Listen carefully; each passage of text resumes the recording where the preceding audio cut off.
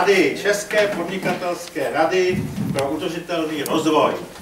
Eh, já tady nejdřív se představím, já jsem Pavel Šremer, místo předseda Stuže, protože náš pan předseda je momentálně v zahraničí, eh, takže jsem ho zaskočil. Eh, nejprve bych přivítal vlastně pracovní skupinu podnikatelské rady, pan inženýr Kalaš, který se uvolil, že vlastně bude s námi spoluorganizovat tuto záležitost, potom představí jednotlivé členy vlastně té pracovní skupiny. A my budeme dneska se zabývat vizí 2050. Ale předtím, než se tím budeme zabývat, bych řekl jenom pár organizačních věcí, jak je vždycky zvykem na těchto našich besídkách. To znamená, že my zveme vždy na tu příští besídku, ta bude, to bude trošku jako zvláštní, protože to nebude celá beseda, bude e, to vlastně naše valné schromáždění jednou za rok, 4. března ve stejnou dobu tady, 4. března v 16 hodin zde. Máme připraven takový kratší program, protože máme potom ty volby, eh, respektive eh, spíš jenom prostě to, co je potřeba, není tentokrát volební rok, takže jednou za dva roky, takže ty záležitosti eh, programové a finanční budeme projednávat, ale hodinovou budeme mít besedu nejspíše s panem primářem Cimickým, ale ještě to není jisté, prostě nemáme od něj ještě potvrzen ten termín, jestli se mu to hodí přesně. Když ne, tak rozhodně zase vám pozveme někoho zajímavého na besedu. Takže to je taková naše nejbližší záležitost. Jinak jsme se stali členy asociace společenské odpovědnosti, takže od teďka budeme vlastně eh, spolupracovat a budeme mít i vzájemné zvaní na akce a podobně. Například taková první akce, která, kterou oni organizují, kterou jsem tam eh, zachytil, je kreativní workshop Prague Service Jam a je to 8. března od 9.30 do 16 hodin. Místo je Creative Gate, Jindřišská 5, Praha 1. Takže pokud byste se někdo chtěl zúčastnit, tady mám k tomu tu pozvánku, můžete se o to případně hlásit. Dále z našich členů má někdo sdělení našim o nějakých dalších akcích, které by eh, jste chtěli rozšířit dále? Eh, vy jste se hlásili, nebo ne? Ne, ne. Dobře. Takže není nic takového, čili můžeme už zahájit na to, na co jsme se zde sešli. A to je záležitost Vize 2050. Já bych poprosil první řadě pana inženýra Kalaše, kterému zároveň gratuluji k tomu, že se stal vlastně šéfem poradců nového pana ministra životního prostředí, což je zajisté radostná zpráva. A tak bych ho poprosil, když jsme to sjednávali, tento, ten, tuto naši besídku, tak jsme vůbec ještě netušili, k jakým koncům jako to dojde, ale prostě se nám to celkem povedlo. Takže eh, pana inženýra poprosím o úvod, on vám představí samozřejmě jednotlivé členy té pracovní skupiny. Je to děláno tak, že asi hodinku a půl bude, budou ty eh, vstupy jednotlivých řečníků a potom další 1,5 hodiny by měla následovat samozřejmě diskuze, jak jsme na to vždycky zvyklí. Takže zatím děkuji ještě jednou eh, všem, kteří, našim panelistům, kteří teda vážili svůj čas a eh, přišli eh, nám říci o tom, jak vypadá vize 2050. Děkuji. Děkuji, pane doktore, za toto eh, úvodní představení. Eh, dobré odpoledne, dámy a pánové. Eh, my jsme se na vás vypravili z České podnikatelské rady pro užitelný rozvoj nejenom s touto pracovní skupinou, kterou hned představím, ale i s prezidentem panem inženýrem Kavkou, s výkonným ředitelem panem Gajdošem. panem inženýrem Gajdošem a je tady řada členů pracovních skupin. Postupně uvedu trošku to spektrum té naší podnikatelské rady a jejich činností. Vize 2050 a dnešní odpoledne v podstatě budou zastoupeny moji úvodní, takovou bych rámcovou informací. A pak jsem moc rád, že tu máme odborníky, kteří se s tou vizí eh, setkali a udělali rešerši jednak z pozice eh, rámce udržitelnosti v České republice, pan docent Rinda. Eh, potom z pozice jiného strategického pohledu konkurenceschopnost České republiky Eh, jejíž autorem byl pan profesor Mejstřík, eh, člen NERVu a řady jiných organizací. A my jsme potom uvážili, že chceme dát takové praktické příklady té aplikace, eh, nejenom té vize, ale vůbec té, těch systémů udržitelnosti. A chtěl bych zmínit dvě oblasti. Pan architekt inženýr Štěpánek sedí vzadu skromně, typ informace bude, zaměření bude na Smart Cities, a druhý takový velmi významný, řekl bych, trendový eh, směr je eh, eh, reporting o udržitelnosti a tuto část bude zastupovat pan docent Hájek. Tak musím se podívat, jak to tu funguje. Tak, já bych vám chtěl na začátku krátce popsat souvislost naší České podnikatelské rady v kontextu té Světové podnikatelské rady. Ta Světová podnikatelská rada eh, vznikla v roce 1992 eh, kolem první konference RIA. V současné době se stává z více než 200 největších korporací na světě. Nepředstavitelné množství asec a zaměstnanců.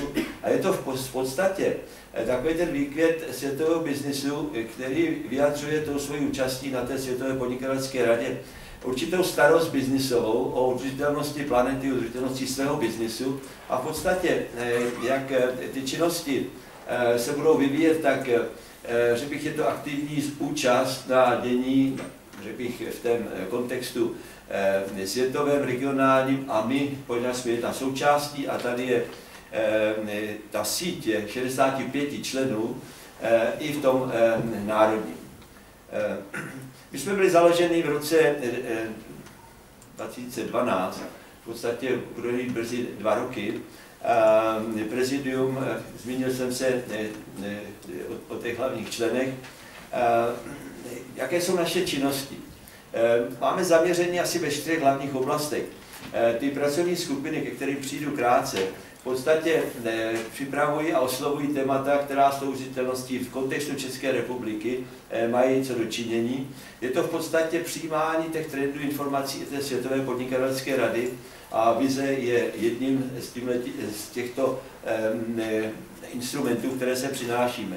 Je to samozřejmě i účast na národním dialogu. Chceme obnovit Radu vlády pro udržitelný rozvoj, eh, dialog s administrací, eh, se senátem, s, eh, s úřadem vlády, ale samozřejmě vedle té biznisové komunity i s nevládními organizacemi.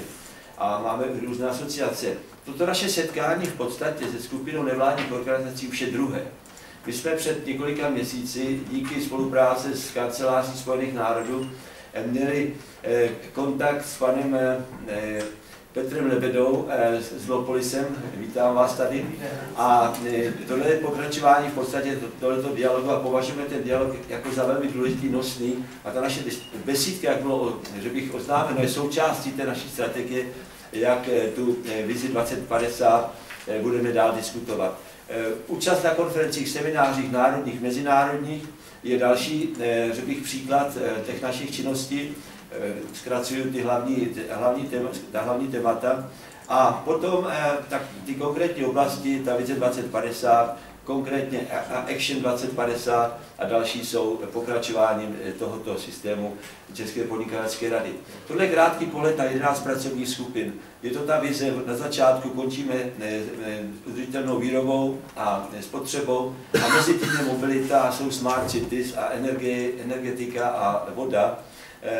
Je tam, jsou tam smart life. Zkrátka jsou to aspekty, které považujeme pro eh, úlohu biznisu, a to bych chtěl zdůraznit, že to je pohled eh, podnikatelské sféry, která by mohla přispět svoji činností v těchto tématech. Máme propojení samozřejmě na programy té Světové podnikatelské rady, vize je jedna, ale je jich tady víc. Energeticky nenáročné budovy, může být další reporting, přijdeme k tomu během dne. Je to propojení těch ty podnikatelské a veřejné sféry. Oblasti, kde si se domníváme, že jsou užitečné, je energie, nízkoenergetické domy,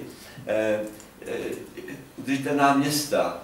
Pracujeme s magistrátem hlavní města Prahy na strategickém plánu rozvoje. Doprava, elektromobilita, stlačený, stlačený plyn, projekty čistoty ovzduší na Ostravsku. Zkrátka, snažíme se oslovit ta témata, která jsou aktuální a kde si myslíme aktivními aktivní účastí členů, expertů, přispět k řešení. Máme samozřejmě také účast a propojení s státní zprávou. Česká podnikatelská rada má partnerství s ministerstvem financí, které doufám teďka přijde na ministerstvo životního prostředí v té oblasti, že v podstatě Česká republika přispívá finančně k velkému zelenému klimatickému fondu, Global Climate Fund, a Česká podnikatelská rada touto dohodou v podstatě zprostředkovává informace z této rady, z té světové rady, pro projekty a pro oblasti, kde by za účastí českých expertů a českého průmyslu ta naše česká účast v tomto velkém mezinárodním programu byla účelná. Hovoříme o programu, který, jak jistě většina z vás ví, kolem roku 2020 100 miliard dolarů ročně by mělo být poskytnuto na smírňování dopadů klimatických změn, řekl bych, rozvinutých zemí, rozvojících zemí. Světová podnikatelská rada tím svým postojem, řekl bych, té udržitelnosti podporuje a aktivně že bych zavádí do svých úvah tři oblasti kapitálu. Místo té, která převládá a hlavně převládá i u nás, té krátké finanční a krátkodobé, krátkodobé rozměru uvažování. Je to i ta kapacita kapitálu přírodního, můžeme říct, že to je kapitál i ekologický. A třetí oblast, ten pilíř, je ten sociální. A růst, řekl bych, na úrovni firm, na úrovni regionů, států se teďka začíná projevovat tak, že všechny ty tři kapitály jsou mírou tohoto rozvoje a řekl bych takové ty odnože může být zelený růst a udržitelnost v různých oblastech, ale v těch představách těch kapitálů toho světového průmyslu tam zaznívá, že růst na planetě je potřeba rozložit do těch třech oblastí a ne měřit jenom tou krátkodobou perspektivou. Teďka přicházím k té vlastní vizi. Ta Světová podnikatelská rada vytvořila takovou architekturu hodnotovou. Je to hierarchie takového fokusu. Toho prvního je to vize 2050, to znamená, ta krátkodobost těch úvah, těch politiků přechází do toho dlouhého nebo do toho širšího perspektivního záběru a asi v 2010 vznikl ten koncept té vize 2050, který byl prezentovaný v loni v Riu 20+. Plus. A tato vize v podstatě by měla nebo znázorňuje ty hlavní oblasti a výzvy planety. Ta druhá hierarchická úroveň je v podstatě, jak naplnit tuto vizi konkrétními programy a hovoříme o, to, o, těch, o té akci 2050, to znamená, je to ta aplikovaná činnost, která se potom dělí na té levé straně, ach, pardon, zpátky. To jsou ty aplikované priority, je jich devět a na druhé straně se pro tyhle těch, každou z těch devíti, a jsou tam klimatické změny, ekosystémy, voda, je tam samozřejmě i výchova bych odborníků, je tam, jsou tam potravy, potrava, je tam udržitelný životní styl. Tak pro všech těch devět oblastí se teďka vytvářejí pracovní nebo biznesové příležitosti, ty Applied Business Solutions, v současné době jich 12 a jsme v procesu jejich vytváření a v podstatě jejich aplikace na takové té širší základně a příští, přes příští měsíc bude ve Švýcarsku další konference, kde tyto biznesové řekl bych, modely a činnosti budou prezentovány na té úrovni těch světových firm, ale i těch národních a my bychom tam chtěli za naši radu tam představit i tu naši představu. Tady tak rychle právě znázornil takový praktický instrument, rozdělení těch prioritních oblastí a těch biznisových řešení. A v podstatě eh, to chce říct, že ten, ta Action 2020, to znamená, abychom urychlili ten trend těch akcí, je v podstatě taková platforma pro akci. A ta akce teďka dostává takový uniformní charakter přes napříč těch 65 regionů, včetně u nás České republiky. Teďka ta konkrétní eh, oblast té vize. Eh, v podstatě ta výzva je, že to uvědomění je, že na planetě bude v roce 50 kolem 9 milionů lidí a že v podstatě eh, je, prosím, miliard, pardon. Eh, já mám dobrou, dobrou oponentu, to je to převtírač. 9 miliard lidí a při omezeném, při omezené kapacitě zdrojů je to v podstatě výzva nejenom jak je uživit, ale jak v podstatě ten život na té planetě uživit na určité kvalitě. To znamená, to je takový ten rámec eh, toho přístupu. Teďka eh, je samozřejmě výzva business as usual a ten business as usual v podstatě bez změn eh, je zřejmé, že zkrátka ta, ta rovnováha bude narušena a zřejmě asi velmi vážně narušena. To znamená, tenhle ten koncept si představuje udržitelnou planetu v roce 2050 v oblastech, které jsou považovány za nosné. To znamená, eh, jsou to eh, lidé a jejich hodnota, je to eh, rozvoj lidských, dalo by se říct, vzdělávání a lidské participace v tomto vývoji. Je to ekonomika, je to zemědělství, je to lesnictví, je to energie a budovy, je to mobilita, doprava a jsou to i materiály. Eh, my když půjdeme ze zdola nahoru, tak v podstatě ta Světová podnikatelská rada eh, zjistila, že potom eh, uveřejnění té vize 2050 a vy dostanete potom, já nepůjdu dovnitř do těch jednotlivých částí, ale myslím si, že uděláme, pane doktore, prezentaci, když mu to rozdělí, bude to někde na webu, takže si ty, ty vnitřnosti můžeme se potom na ně podívat. Ale v podstatě zjistili, že od toho roku 2010 Eh, se toho v podstatě událo málo v tom světě. Takže přišla ta úvaha zrychlit ten eh, celý eh, proces, čili jsou to ty turbulent teens, to, co se musí mít do toho roku 2020. To je ta náplň toho, ty Action 2020, kterou jsem předtím ukázal. Pak je to taková ta přechodová, ta transformační doba, a kde zkrátka dozrávají tyto změny. No a ta vize právě končí potom, že bych už tom v té konsolidaci.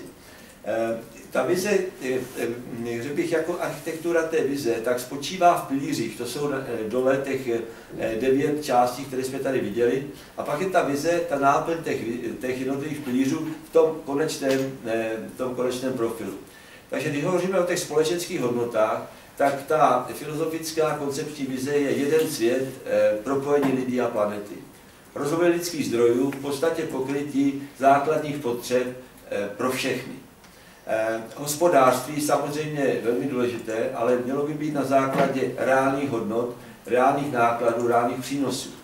Eh, zemědělství samozřejmě dostatek potravin prostřednictvím různých metod zelená revoluce například. Lesnictví je udržitelná obnova, regenerace lesů. Eh, energie bezpečná, dostatečná, nízko, nízkoemisní, nízkouhlíková stavebnictví přispíváme k vývoji nízkoenergetických domů, nulové energetické domy. Mobilita bezpečná a nízkouhlíková. A materiály, ta je otázka odpadového hospodářství, to znamená minimum odpadu. Jedna z těch součástí naší podnikatelské rady je propojení na zahraniční zkušenost. A v oblasti vize jsme si pozvali v loni na konferenci zástupce Polska, a Polsko už vyvinulo před několika lety národní vizi, která má konsensus na úrovni vlády. A v podstatě tady jenom příklad, eh, že Poláci jsou v tomhle několik let před náma, rádi se dělí o ty zkušenosti a v podstatě eh, si vytvořili konsensus společenský v Polsku eh, napříč společnosti. Dokonce společnosti tam podepisují akt sounáležitosti a závazku s udržením těchto principů té polské vize 2050. Oni si trošku sjednotili nebo z, z, z, z, zredukovali ten počet těch pilířů, společensko-sociální kapitál, kapitál lidských zdrojů. V popředí těch je hodně úloha lidí, obyvatel. infrastruktura, přírodní zdroje energie a to, co je pro nás samozřejmě velmi podobné, poněvadž to odpovídá, řekněme, kulturnímu profilu a historickému vývoji i u nás, je stát a kvalita institucí. My jsme si některé tyhle ty vlivy z, z, té polské, z té polské vize půjčili i pro nás. Čili když, když vycházíme z toho příkladu té Světové podnikatelské rady a její vize, vidíme, že Polsko vytvořilo další a řada regionálních členů na těch konferencích pre, ne, už prezentuje jejich národní vize. Čili my vstupujeme do procesu, jsme sice poměrně pozdě, ale chceme zkrátka tohleto tempo těch ostatních sledovat. Čili přicházíme teďka na ten pohled té české vize, Půjčíme si stejnou architekturu. Vize 2050 je v přípravě. Dnesní besídka, jak ji nazýváme, součástí diskuze těch pilířů a té náplně. Eh, sam budeme přecházet po tom, jak naplníme tuto vizi, budeme diskutovat ty Plan Action 2020 a potom ty priority a z těch devíti na levé straně eh, vybíráme ty, které my v českém prostředí považujeme, že jsou pro nás nosné a pro nás specifické. Nejsou to všechny, protože řada těch devíti priorit Světové podnikatelské rady je zaměřená taky na rozvojové země a na specifickou problematiku, která u nás eh, není nebo zkrátka není aktuální. A na pravé straně už přicházíme s těmi konkrétními eh, projektovými oblastmi, Smart City Reporting, máme tady program, který oslovuje potravinové odpady, Eh, elektromobilitu a budeme pracovat i na další. Čili ta naše vize 2050 je odpověď na globální výzvy.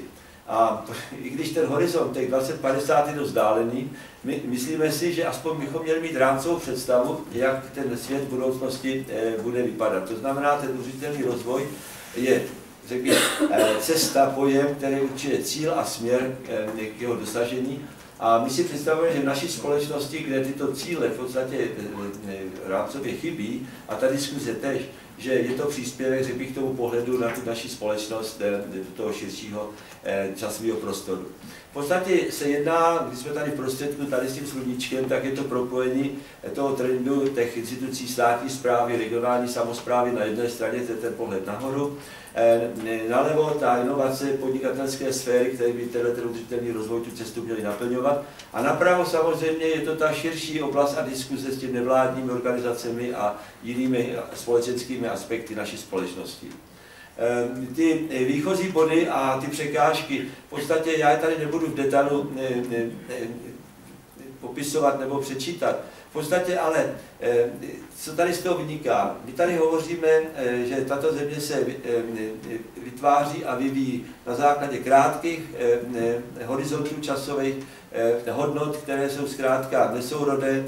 Je tady nekompatibilita těch společenských sledovaných cílů, chybí proveditelnost těch záměrů, čili je to, že bych takový řád, který bychom do této společnosti tím principem udržitelnosti chtěli vložit. Je to samozřejmě o společenských hodnotách. A e, chtěli bychom, aby ta primární orientace podnikatelské sféry na ty krátkodobé výnosy e, přešla do toho širšího hodnocení a v podstatě i těch biznisových příkladů, které pomůžou a podělí se o ty pří, přínosy téhle podnik, podnikatelské sféry i pro tu společnost. Proto ten náš kontakt s tou biznisovou sférou máme teďka 16 členů, oslovili jsme dalších 40. Poláci mají současně 60, Maďaři mají taky kolem 60 členů, samozřejmě delší doba, ale směřujeme tam, že bychom chtěli tyhle ty hodnotové systémy zavít České republice v širokém biznisu.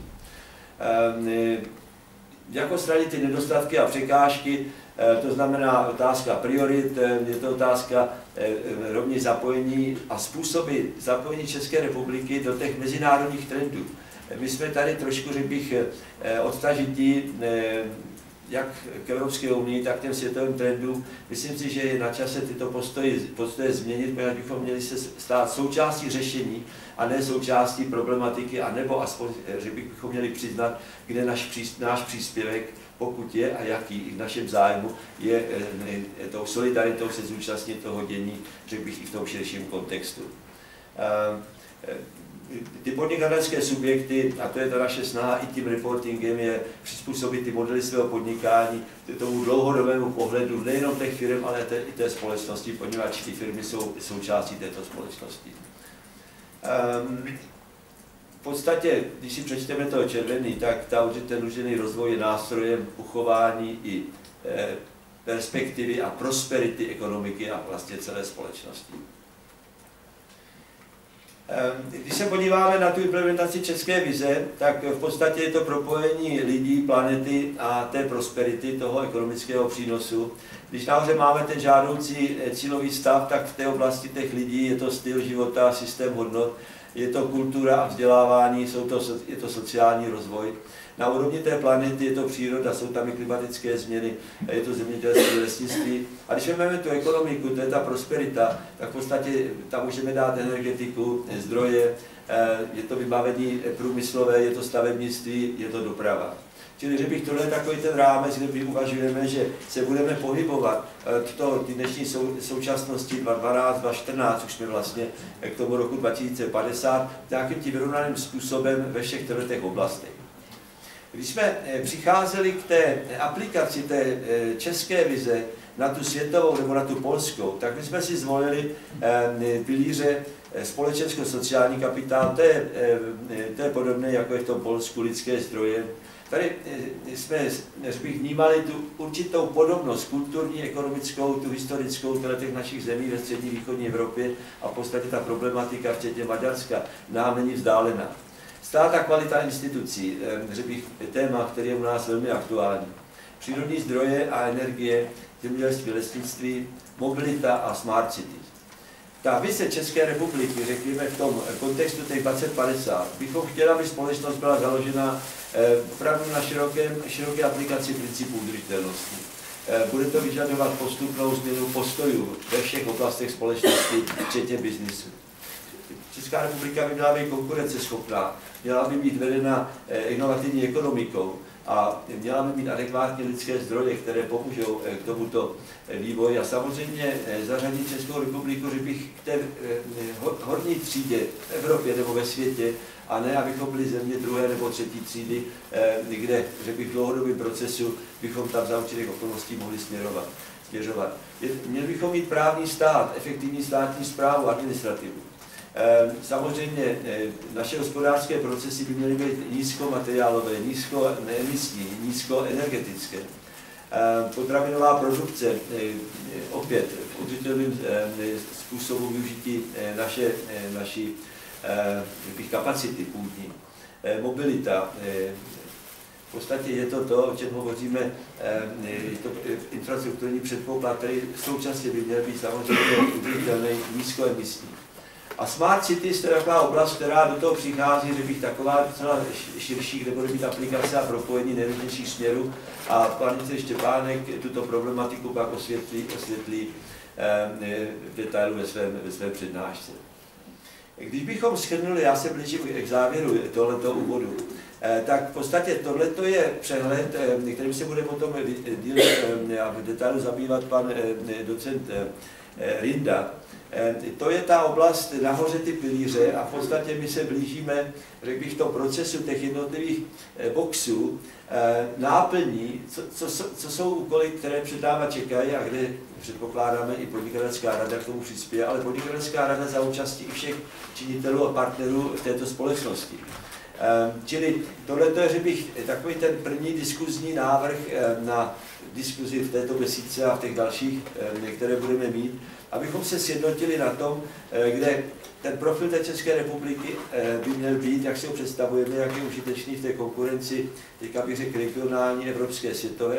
A na druhou stranu, které cesty a eh, sekvence programů k tomu sleduje. A když bych to ukončil, tak tenhle ten program Vize 2050, který my považujeme zkrátka jako projekt v čase, tak je to v podstatě dokončení té rešerše z pohledu strategie konkurenceschopnosti, o tom hovoříme s panem eh, profesorem Městříkem. Eh, ten, ta rešerše z hlediska rámce, rámce udržitelnosti České republiky byla provedena panem docentem Lindou a spolupracovníky na Karlově univerzitě. Další oblast je v podstatě připomínkové řízení, diskuze, jako je ta dnešní. Kulaté stoly. Připravujeme kulatý stůl v Senátu, pracujeme na termínu někde Eh, kolem března, kde Senát a řekl bych, eh, jsou to eh, já bych to chtěl říct takto, podnikatelská rada je naprosto nepolitická. Zastáváme pohled státu a nacházíme větší porozumění v politicích teďka, které přicházejí a mají zájem o tu dlouhodobost. Takže doktor Špidla, který je šéforadcem premiéra, vyslovil velký zájem, abychom uspořádali v Senátu konferenci Kulatý stůl, kde zkrátka pozveme politiky, pozveme, že bych tuto část společnosti, která ji bude vidět do budoucnosti, abychom podpořili ten koncept a ty hodnoty udržitelnosti. Ehm, Stuž ehm, je možná, bych řekl, začátek dialogu eh, s nevládními organizacemi a ten, tento dialog vítáme a myslím si opravdu, že by měl pokračovat.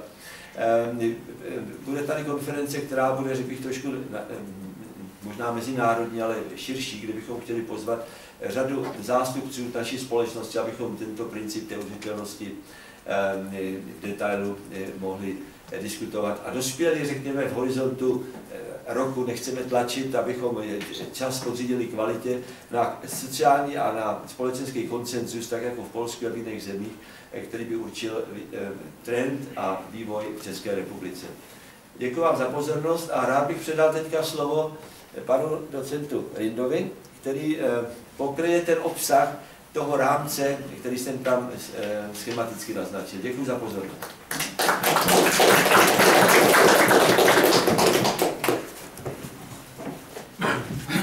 Vážené dámy, vážení pánové, děkuji za slovo. E, náš dnešní krutý moderátor Pavel Šremer mě uložil zhodnotit vizi 2050 během deseti minut, což nejde. Takové úkoly on klade rád. Ale protože moderátor a místopředseda se musí poslouchat, rozhodl jsem se, že se pokusím tu vizi 2050 nikoli pojednat tak, jak tady bylo panem kolegou, panem inženýrem Kalašem řečeno v jejich jednotlivých pilířích, ale hlavně v jejich kontextech jejich předpokladech a v tom, v čem ta vize je žádoucí, možná a potřebná a v čem já osobně vidím rizika. První část toho mého povídání tedy bude frivolní, leč nikoli bezvýznamná, jak alespoň doufám. Ta druhá část bude seriózní, poslední část bude e, opět frivolní a ta Úplně nejposlednější, totiž ten závěr bude naplněný vyjádřením nějaké mé osobní a řekl bych i odborné naděje. Děkuju. Jak bylo řečeno, my jsme skutečně dostali materiál České vize 2050 na naší katedře sociální a kulturní ekologie posouzení. Zabývali jsme se jim, eh, myslím, velmi seriózně, a to kontextech jednak těch polských prací, které tady byly taky zmíněné, jednak v kontextech českých dokumentů, které všichni známe. Jsou jimi strategie udržitelného rozvoje České republiky a strategický rámec udržitelného rozvoje České republiky. Už v tom je vidět zřetelný antiklimat, zřetelný e, pokles. Měli jsme strategii, dnes máme rámce a ty rámce jsme, prosím, přes veškerou snahu jako Rada vlády, která spí, a nekoná momentálně nic, ty rámce jsme neimplementovali. To je jedno ze základních východisek, ke kterému se ještě vrátím. Jedno ze zásadních tvrzení, kterým já se teď zabývám, je ambivalentní povaha reality, ve které se na této planetě všichni e, pohybujeme. Když dva dělají totéž, není to vždycky totéž a velmi často jedna věc může znamenat samu sebe, ale i svůj protiklad české společnosti dokonce si troufám mluvit o společnosti perverzní. Tady mám celou sérii příkladů, které nestihneme, ale někteří z vás mohou e, pochopit intuitivně a bystře, co tím asi myslím. E, myslím si, že v tomto prostředí společnosti pro e, udržitelný život nebo trvalý udržitelný život nám stačí jako příklad fotovoltaika. To politické gesto nebo plán nebo strategie, lze o nějakých strategii v České republice vůbec hovořit, které mělo diverzifikovat zdroje, mělo nás usvobodit od závislosti na Česu, mělo nás emancipovat jako jednotlivé spotřebitele energie výrobou i spotřebou od této závislosti, mělo ušetřit přírodu a krajinu od znečištění a zátěží, způsobilo perverzně větší zatížení krajiny, zatížení těmi velkými elektrárny, elektrárnami, které se dostaly začasté na půdách nejlepších nebo velmi dobrých bony do vlastnictví neprůhledných společností nebo Česu. Takže naše závislost na Česu a na těch, kteří manipulují politikou e, naší země, se nikoli snížila, ale výrazně zvýšila. Zvýšila o to víc, že se stala neprůhlednou. Nevím jak vy, ale tohle já nazývám perverzí, jestliže se věci zvrátí ve svůj protiklad. Příkladů, protože je sbírám, mohu jmenovat obrovskou řadu. A neříkám to jen tak, abych byl vtipný, říkám to proto, že to bude mít jisté vyústění vzhledem k vizi 2050. Můžeme mít dvě teorie o povodní, které si tato budova velmi, velmi naléhavě v roce Eh, v letech nedávno minulých zažila. Můžeme tu situaci interpretovat eh, pod číslem 1, jak všichni víme, nebo ji můžeme interpretovat pod číslem 2. Jedná se přitom o jednu a tutéž situaci. Tvrdím proto, že to, co teď zažíváme, totiž finanční a ekonomickou krizi planetárního rozsahu, že to můžeme také interpretovat rozličnými způsoby a já bych tu krizi rád interpretoval jako nesmírně očistnou. Protože bez dalších důkazů si troufám tvrdit, že to, co my, environmentalisté, tvrdíme 30, 40, 50 let, začínají nyní objevovat někteří ekonomové, a tím nechci sebeméně hanit eh, ekonomie jako vědu pana profesora Mejstříka jako jejího reprezentanta, protože ekonomů si nesmírně váží, samozřejmě. Ale poté, co například Escherichia coli doputuje ze Španělska do České republiky a způsobí průjem, začnou se ekonomové zabývat tím, dává-li smysl vozit v podstatě vodu přes celý kontinent a jestli není rozumnější vypěstovat touž okurku ve znojmě, kde je nejlepšejší, jak každé malé děcko ví. Proto mám teorii LDK, což neznáte, nemůžete vědět, protože jsem si to vymyslel. LDK je laskavě dimenzovaná krize. LDK je situace, ve které si i ekonomové začínají uvědomovat, že máme problém, začínají přistupovat na naše argumenty a začínají je vnímat, což je nesmírně prospěšné, svým aparátem a formulovat svoji terminologii v rámci svých teorií. To všechno já chápu jako nesmírně pozitivní a doufám, že se e, snad můžeme částečně poučit. Když jsme připravovali Johannesburg před e, nyní už 12 lety, Zpráva kulatého stolu významných osob východní Azie prohlásila, že největší problém životního prostředí této planety je finanční krize a tunelování východoazijských bank já se přiznám a nestydím se za to ani za nehet, že jsem vůbec nevěděl, o čem je v té zprávě řeč. A byla řeč o tom, že se mají projednat finanční krize, finanční tlaky, neúměrné bubliny, zadlužování bank, jejich jednání mimo to, k čemu mají banky primárně sloužit, totiž uchránit peníze bezpečí a půjčit je tomu, kdo je potřebuje. Místo toho vydělávají klikáním velkých rozměrů a různými transakčními akcemi. Perverze. Tahle ta zpráva na to v roce 2001, eh, 2001 upozorňovala. Znovu opakuju, že jsem vůbec nechápal, co tam je. tak, globální problém Globální problém je charakteristický nikoli svou velikostí, to je pro naše studenty toliko opakování, ale ti tady momentálně nejsou, je charakteristický mechanismem vzniku. Vzniká totiž z lokálních nebo regionálních příčin, které se v globálním měřítku kumulují nebo synergují a způsobují problém, na který nemáme jednotlivá podílná dílčí řešení. Museli bychom vymyslet nějakou celostní strategii a tou je udržitelný rozvoj. My ale nechápeme mechanismus globálního problému. Tohle to si můžete přečíst a dostávám se k tomu, když dva dělají totež, není to vždycky totež. Teď následuje ta část popisná, kterou jsem předem inzeroval, totiž část, ve které se skutečně budu zabývat jednotlivými sedmi částmi Vize 2050 a předesílám jednu věc. Zopakuju ještě na sám závěr. Eh, troufám si tvrdit, že v té vizi je skryta naděje a že ta vize je dobrým materiálem, se kterým je nutné pracovat, přestože ten materiál ve své stručnosti, tak jak obsahuje absolutně všechno, protože je to vize udržitelného rozvoje, tak sám o sobě nemůže nic řešit. Způsobem, který je tady popsaný, tedy ta vize vzniká, dělí se do následujících pilířů, které nepřečtete, ale můžete si ten materiál stáhnout podrobně na internetu. A my jsme se na naší katedře pokusili podívat se na to z hlediska udržitelnosti, tedy lokální, regionální, globální udržitelnosti a jednotlivé ty body komentovat, což bylo za to s povděkem a doufám, že tady bude spolupráce, na kterou se opravdu ještě těší. Tady, protože to nelze komentovat absolutně všechno, tak tady jsou jenom dílčí, řekněme, sondy, body, náměty, kontexty. Nic více opravdu v těch deseti minutách, které díky vaší trpělivosti protáhnu na 40 a nám ujede metro, až z toho budou 4 hodiny, tak tady jsou skutečně jenom ty zásadní body.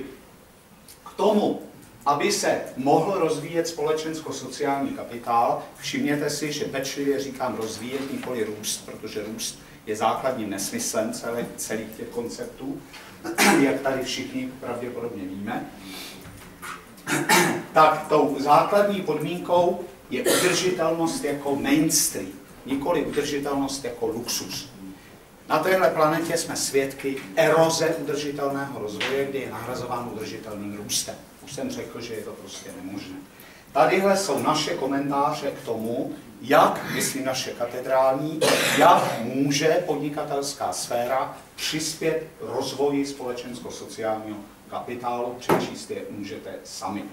Lidské zdroje s tím velmi souvisejí, my proto definujeme trvalý udržitelný rozvoj jako čtyř a nikoli jenom třípilířový, protože společnost jako celek a jako systém je něco jiného než její jedinec. Margaret Thatcher by o tom mohla vyprávět, jak zase všichni víte. Tohle je tedy rozvoj lidských zdrojů a jsou tam vyzobnuté ty hlavní momenty, které si můžete přečíst z vize 2050. Zas není to nic příliš nového.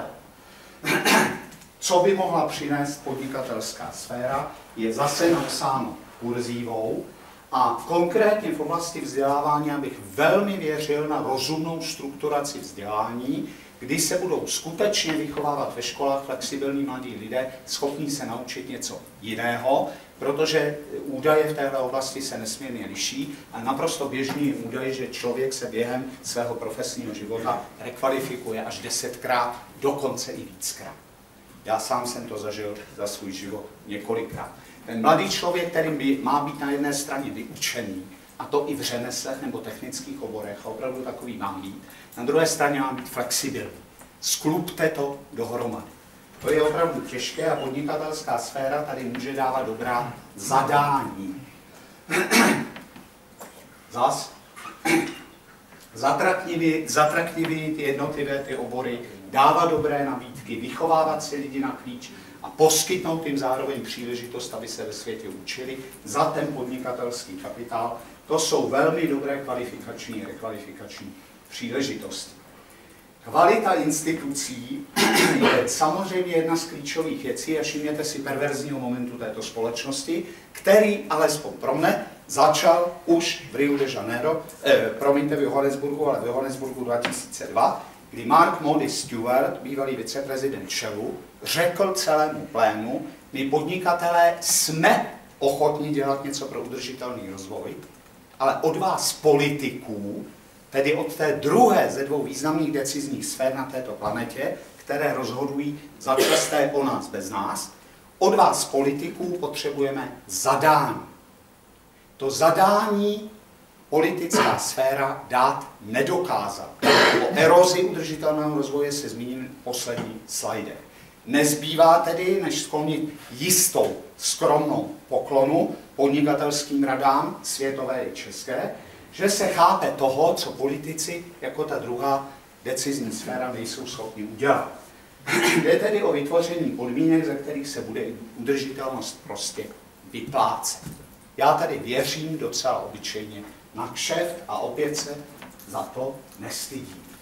Budou-li ty regulace, ty rámce udržitelnosti rozumně stanoveny. Pak věřím skutečně v trh, věřím v podnikání, věřím v individuální skupinovou lidskou iniciativu. Tohle jsou věci zase, které se týkají vztahu eh, strategie udržitelného rozvoje a strategických rámců udržitelného rozvoje a vize. Najděte prosím chybu na tomto jinak vydařeném slajdu pojednávajícím o decouplingu. Tak naši studenti by našli okamžitě, tadyhle vidíte to klíčové slovo, nebo nevidíte v posledních řadách, totiž růst. Protože my všichni víme, že v uzavřeném systému konečných zdrojů, který představuje naše planeta, není možný růst libovolného typu. To je zpráva MITu z roku 72. Tam není co diskutovat. Stechiometrické poměry v chemii a tak dále jsou jenom jedny. Jde tedy o nic menšího, než o reorientaci ekonomie jako vědy a ekonomik jako takových. To je vlastně má nejzávažnější výhrada vůči revizi protože je skutečně růstová. Tohle opravdu znáte a nic špatného na tom není. Tady k tomu slajdu jsem chtěl mít ještě drobný komentář, protože s tím růstem ta odpadová strategie souvisí v pozitivním slova smyslu, ale nechci přetahovat ten čas příliš dlouho. Mobilita. Další základní problém a zásadní kontradikcio in adjecto udržitelnost a mobilita současně. My jsme mobilitou posedlí, jsme posedlí mobilitou všeho druhu a udržitelný rozvoj by měl daleko víc stavět na místní soběstačnost. Kdo může poskytnout ty místní zaměstnanecké příležitosti, to místní vzdělání a tak dále? No podnikatelská sféra, já bych ji tady velmi věřil, když budou regulativy držet ty trhy v lokálních rámcích, tam, kde to prostě bude rozumné. internalizaci, externalita a tak dále. To všichni známe. Mobilita je tedy dobrý sluha, ale velmi zlý pán, obávám se. Zase tam máte nějaké texty, které jsme do té vize připsali. jsme u měst, o kterých doufám dobře zahovoří kolega Petr Štěpánek, jehož též skládám jistou míru důvěry. Poté, co jsme si to prošli, vrátím se zpátky k frivolně kontextovým záležitostem historie. Povšimněte si prosím hesla a názvu toho, jak se udržitelný rozvoj vytváří. Stockholm, heslo je jen jedna země a byla to konference o životním prostředí. Následovala naše společná budoucnost, jásavý optimismus od jedné země k jednomu společnému světu. Rio de Janeiro, optimismus trvá, ale pochybnost je v tom, to dvojsečné ambivalentní tvrzení je to v našich rukou, je velmi výstižné pro danou situaci. Je v tom naděje, ale i obava. Je to v těchto našich rukou. Bohudík nebo bohužel. Johannesburg, lidé, země, prosperita.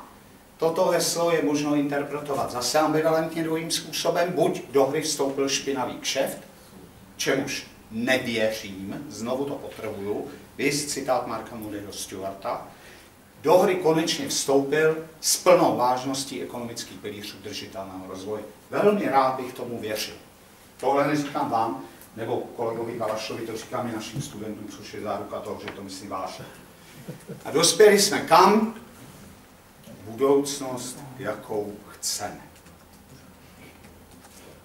Jakou bychom chtěli. Jaký chceme. Zkuste to jenom přeložit. Tragika tohoto dokumentu, jak by řekl Pavel Schremer, který slovo tragika a tragický používá z husta, spočívá v tom, že z původně vynikajícího nebo aspoň velmi dobrého návrhu zelené ekonomiky a reformy institucí se stal výsostně demokratickým procesem připomínkování, připomínkování a připomínkování celoplanetárních rozměrech, dokument, o kterém všichni víme, že je k ničemu, protože je úplně bezubý. Víte, jaký je rozdíl mezi trhem a volbami? Nebo politikou? Žádný. Oba představují prostory zaplněné svobodnými, racionálně se rozhodujícími bytostmi.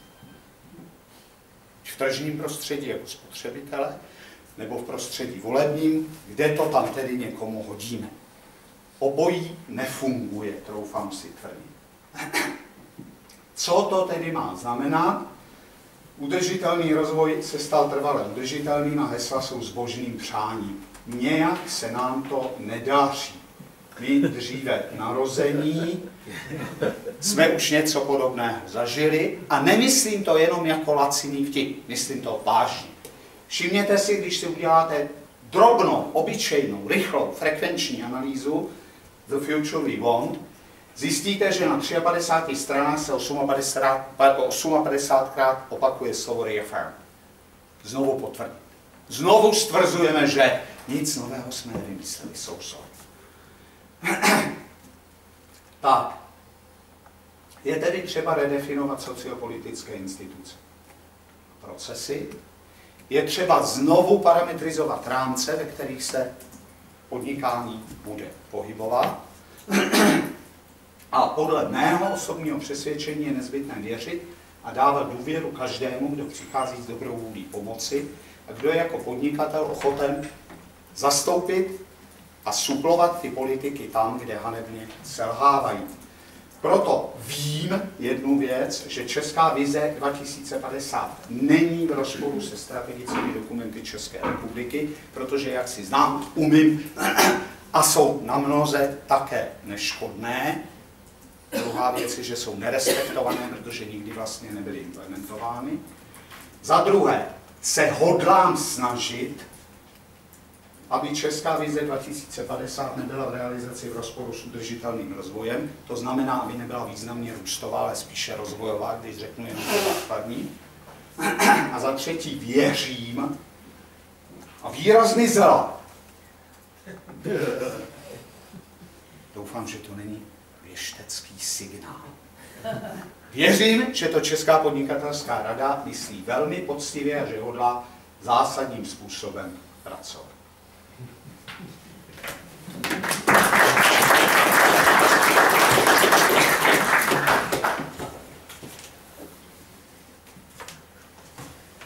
Takže nyní bychom poprosili pana profesora Mejstříka, jestli by nám řekl, jak to vypadá hlediska konkurenceschopnosti.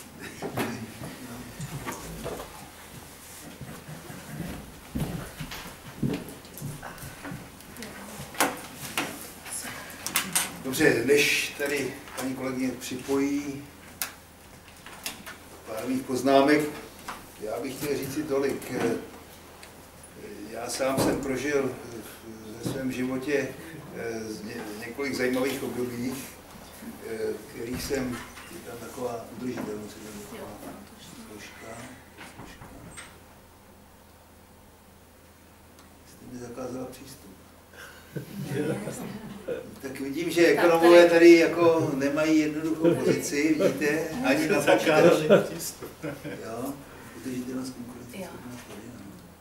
Tu víru ve vás nějak vymazali. Dobře. Tak, takže eh, já jenom pro vaši takovou orientaci jsem sám v minulosti eh, docela intenzivně psal s různými autory. Eh, proč jsme se tady připomněli po letech, zase potkali s paní kolegyní Vavrouškou, protože jsem si tvořil právě s ní, s jejím manželem své první studie, kdy jsme se snažili prostě nadefinovat právě ten pěkný náboj mezi ekonomem a mezi, eh, mezi vlastně nějakým pojetím udržitelného rozvoje. Já sám jsem, když si napsal práci o technology assessment, jo, e, což bylo hodnocení dopadů nových technologií z hlediska ekonomického, sociálního a environmentálního. No, takže v Americe existoval úřad OTA tehdy a tak dále, takže to byla nepochybná etapa, ale vždy pochopitelně v souvislosti e, s tím, jak člověk přeci jenom je ekonom, tak to napětí vnímá daleko silněji, než než člověk, který se na to dívá eh, jakoby z toho jednoho pólu, ale musím říct, že tento eh, souboj těch obou pólů pro mě je zajímavý. A já prostě z tohoto hlediska vnímám vůbec tu situaci už dlouho, těch pět let, jako jsme to tady dokonce diskutovali na semináři mého předřečníka, jako jako fakt, že světová finanční krize je skutečně příležitostí pro určitou změnu, eh, protože skutečně jsme v období určité kreativní destrukce a není to úplně banální, i když ta interpretace může být někdy trošku eh, jinak nahlížena. Eh, to, ten náhled je prostě, že skutečně, mohl bych tady detailně dokumentovat, že dochází k přesunu bohatství ve světě a Eh, že dokonce i ty emerging economies, jak se jim říká, to je ten dříve velice zaostalý svět, tak dokonce dává přednost volnému obchodu, tak jako tak vnímanému. A navíc, eh, že deficity soukromé a veřejné v rozvinutých zemích začínají být financovány půjčkami spořivých, často méně rozvinutých zemí. A když potom vidíte setkání G20, kde jsem měl příležitost se jich zúčastnit, tak najednou zjišťujete, že Eh, část toho dilematu, které tady zaznělo, právě souvisí s tím, že po americkém prezidentovi eh, v důsledku, řekněme, té finanční udržitelnosti existence těch vyspělých zemí, jako druhý řečník je například saudsko-arabský král.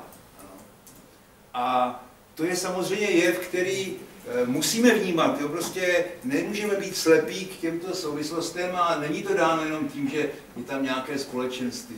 Jenom když se třeba podíváme, tak během té probíhající krize 2008-2011 eh, můžeme eh, jako klást otázky, co to znamená, jestli to je dokonalá míra. Já sám říkám, že HDP není dokonalá míra, nicméně je to míra, která vytváří prostor pro zaměstnanost.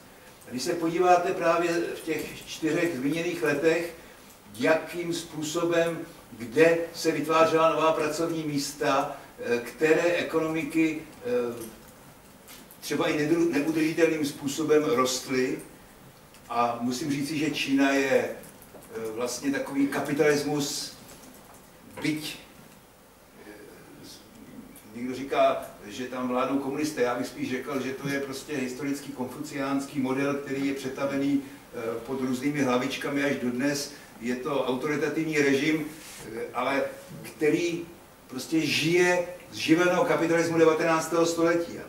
Ale ten tam probudil dříve netušené eh, síly a v důsledku toho najednou Čína získala tu svoji roli druhé největší ekonomiky, protože protože v těch letech například vývoj eurozóny nebo střední a východní Evropy byl na úrovni růstu subsaharských zemí.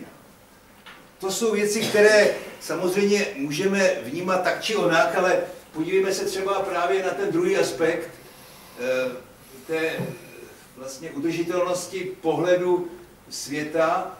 Eh, můžeme tento pohled kritizovat, ale realita je taková, že tady máme pohled, jak si kdo půjčuje, jak investuje v zahraničí a zjistíte, že vlastně nejzadluženější země světa, které mají mnohem více tvrdých závazků mezinárodní měně, je třeba jsou, jsou Spojené státy a veškeré země eh, toho takzvaného té vyspělé Evropy.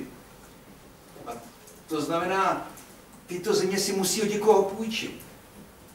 A eh, můžete mít eh, celou řadu zajímavých eh, realit, ale když se podíváte na tu pravou stranu, tak z těch vyspělých zemí tam máme pouze Německo, pouze Švýcarsko, kde se teda soustředilo zase eh, vklady ze zbytku světa. A pak jsou tady ti ropní šejkové ze Skandinávie, Norsko a všechno ostatní, všechno ostatní jsou úspory těch v úvozovkách chudých zemí, kam jezdí ti politikové z těch bohatších zemí a já jsem to byl sám svědkem, když po jednom meetingu, eh, který jsem zažil eh, vlastně velmi úspěšném, kde jsme diskutovali eh, byť ekonomické věci a i dokonce environmentální, protože Čína má hodně problémů v Pekingu, i z jejich bankéři, tak tam najednou přijel vyslanec Kraus Legring, který ho vyslali v podvečer předtím evropští komisaři, aby si tam jel přijel pro peníze teď najednou ti Číňané, kteří nám tak jako vážně naslouchali a kteří naslouchali těm zajímavým environmentálním projektům, které e, opravdu je tíží, voda, a to, to jsou skutečně věci, které, bez kterých ta Čína zahyne. Tak najednou říkají, no, my vás respektujeme, ale co to má znamenat? Vždyť e, teď nám tady všichni vykládají o té vyspělé diplomaci a tady bez jakéhokoliv předjednání. Včera se usnese meeting evropských eh, eh, lídrů eurozóny a druhý den ráno jsem přijde Klaus Regling a říká, vy mnohem chudší země má, máte nám půjčit na ty naše skvělé eh, evropské, oni říkají, rozhazovačné plány. Na ten váš velký komfort. Teď se podívejte, tady lidé umírají v některých těch regionech a my se je snažíme povznést, my rozumíme té vaší misi, ale uvědomte si, že proč bychom my vám měli půjčovat. Eh, a další krok, eh, my vám navrhujeme řešení. Ano, prostřednictvím mezinárodních organizací, my tam vložíme peníze, vy tam uvolníte část těch míst, abychom tam měli větší slovo, a my vám prostřednictvím mezinárodních organizací budeme půjčovat. Ale to vy nechcete tak teď najednou cítíte ten obrovský náboj a tady máte, jo, ve chvíli, kdy jste na jedné straně máte věřitele, kteří vám jsou ochotní půjčit, ale co jim za to máte nabídnout? Ano. Vy nabízíte nějakou ideu, ale mnozí z těch lidí vlastně jsou na Prahu chudoby, a teď ten růst se jim trošičku zpomalil, ale stále je velký, ale nicméně když se podíváte na čísla, teď se to diskutovalo na posledním Davosu, když se zeptáte předních Indů, a jsou to Indové různého typu, neříkám, eh, já znám spíš i ty sociálně orientované Indy, tak eh, ti Indové, ať jsou to politici nebo, eh, nebo, nebo akademici, tak ti vám řeknou, víte, Gini koeficient, jako ti, co bohatnou, že se ty nůžky u nás rozevírají, to je, to je věc nepříjemná, ale pro nás je naprosto nejdůležitější vyhoupnout se z té pasti umírajících, bídných poměrů, které, ze kterých se například právě Čína díky té mobilitě pracovních sil, kde třeba e, vlastně z venkova přechází třeba 250 milionů pracovníků, kteří začínají pracovat v těch pobřežních oblastech, postupně začíná vymaňovat a ty lidé se vrací eh, na, s nabitou kvalifikací zpět do těch svých provincií a začínají se chovat jinak a začínají se chovat civilizovaně, disciplinovaně, nicméně prostě jsou schopni samostatně, samostatného života. No a potom, když se potom podíváte na ten svět, jak se rozvíjí, tak eh, v těch červených bodech samozřejmě vidíme, že ten, kdo se nejvíce potýká, ty červené Eh, hlášky jsou prostě, to jsou ty země, které se neustále zadlužují a to jsou zase ty evropské země, ano.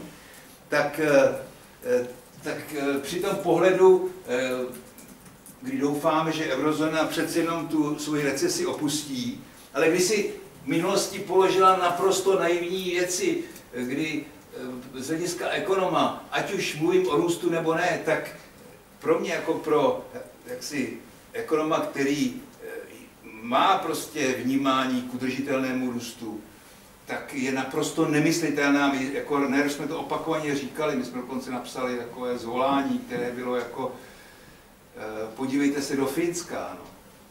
Protože Finové skutečně v obdobích, kdy eh, vlastně mohli růst na dluh, tak oni si ten svůj růst zpomalili, aby vnímali ty všechny své souvislosti, vytvořili skutečně fungující radu, eh, která byla napříč politickým spektrem a byli ochotní splácet své dluhy, ale současně plnit svůj program, protože pro ně eh, vlastně růst na úkor rostoucí zadluženosti nebyl tou nejvyšší prioritou. A e, z tohoto důvodu, z tohoto důvodu my jsme dokonce navrhli v té Národní ekonomické radě takové řešení, že minimálně ten úzký ekonomický pohled by měl charakterizovat eh, to tradiční keynesiánství, že ne růst za každou cenu, ale eh, minimálně, řekněme, v rámci udržitelného rozvoje, ale současně i, současně i v rámci těch finančních možností.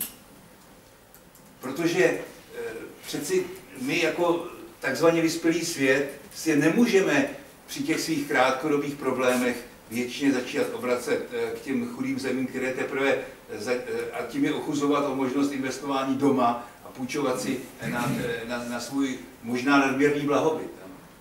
A na ty své nadměrné cíle, kdy prostě jsme si řekli, že všechny země v Evropě, včetně Řecka, kterému jsme prominuli, že nemá tak elementární, eh, nepředstavitelně eh, zásadní eh, předpoklady vstupu. Vemte si, že v, v Řecku vstoupilo, ještě před námi samozřejmě, než jsme vstoupili do EU, ale tak do eurozóny, když Řecko vstupovalo, tak dodnes nemají třeba v pořádku ani vlastnictví pozemků v katastrálních mapách. Tak elementární součást, tak elementární součást nejenom ekonomiky, ale běžného žití.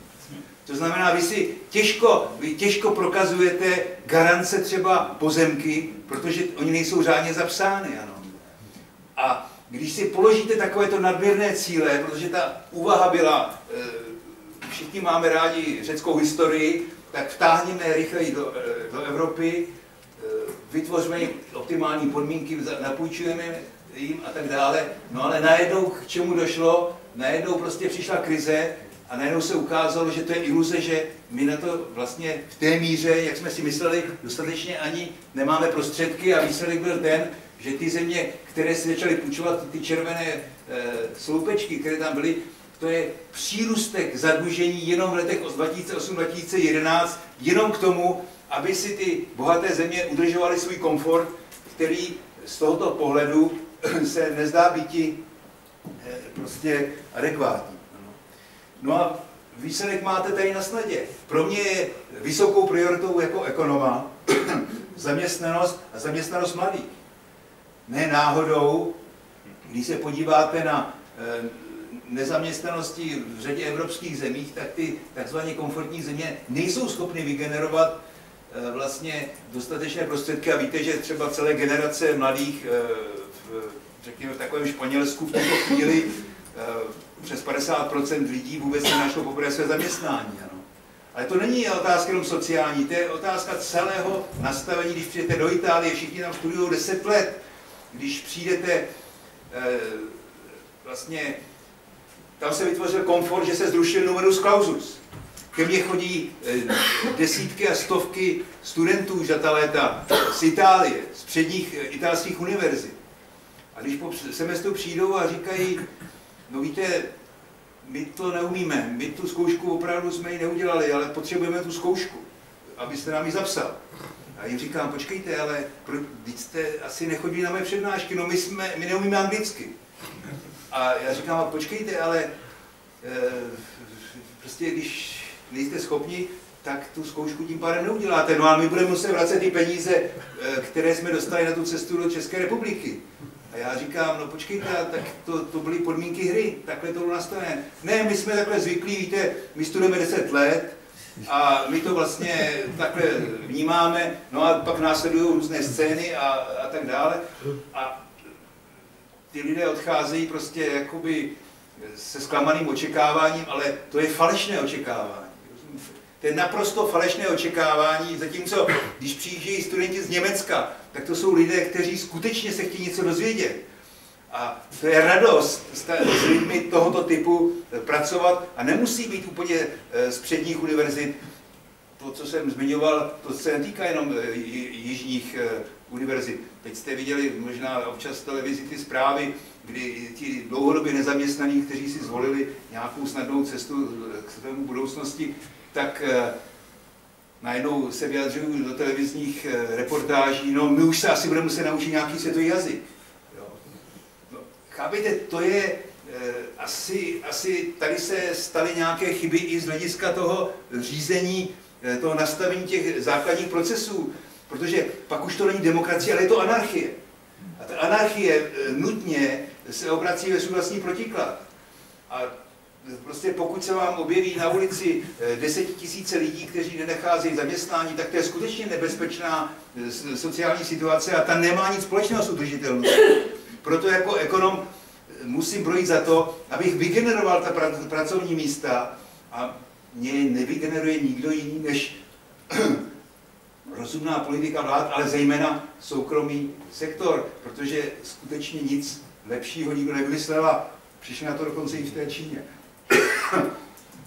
Takže eh, tato vize, eh, ta se ukazuje bohužel, ta, jak ta Evropa stojí jako naivní a výsledek potom máte například v situaci, kdy tady máte třeba pohled, jak ty země, takzvaného toho jižního křídla, kteří žili takzvaným sociálně-ekonomickým modelem Mediterrien, ano, neflexibilní pracovní síly. Rozumíte, když máte propustit někoho v Řecku nebo Eh, nebo ve Španělsku, tak mu musíte platit takové odstupné, že, že ho raději ani nepřijmete.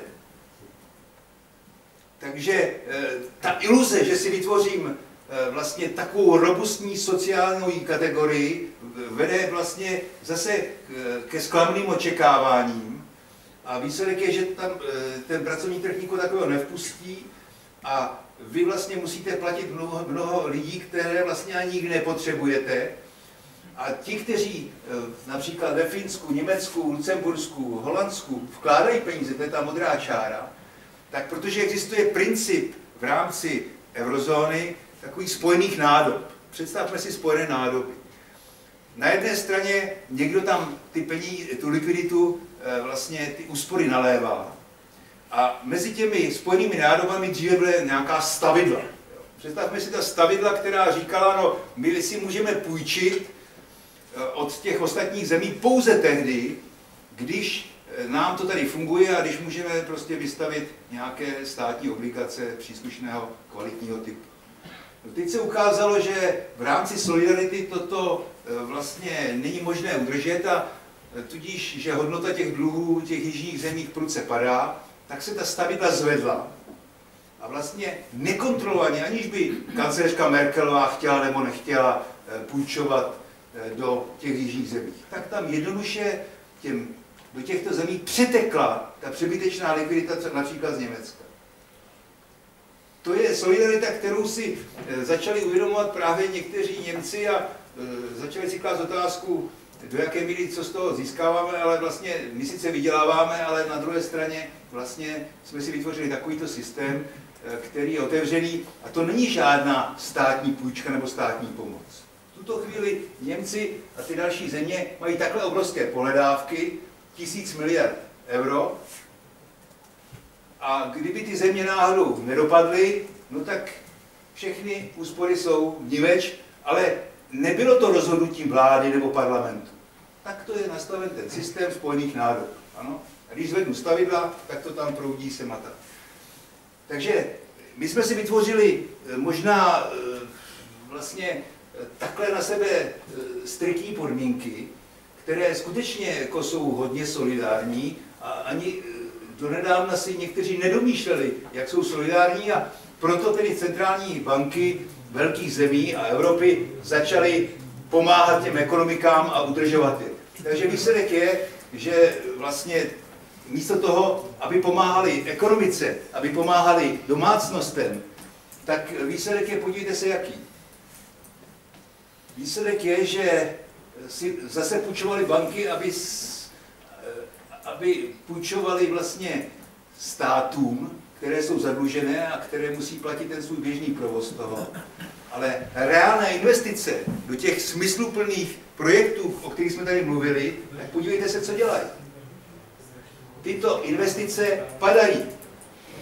To znamená, to jsou data, která nejsou příliš stará a jak vidíte, tak prostě tento příklý pokles investic s výjimkou Německa, které se z toho začalo vydělovat, kde si uvědomují tu budoucnost a je potřeba eh, vlastně tímto způsobem aktivně jednat, tak eh, tím se to Německo opravdu začalo eh, v Evropě, i když sami oni říkají, že těch investic je ještě málo, ale nicméně vydělovat, no a to je prostě začátek trošku složitých procesů, protože takovéto tendence je potom těžko zvrátit.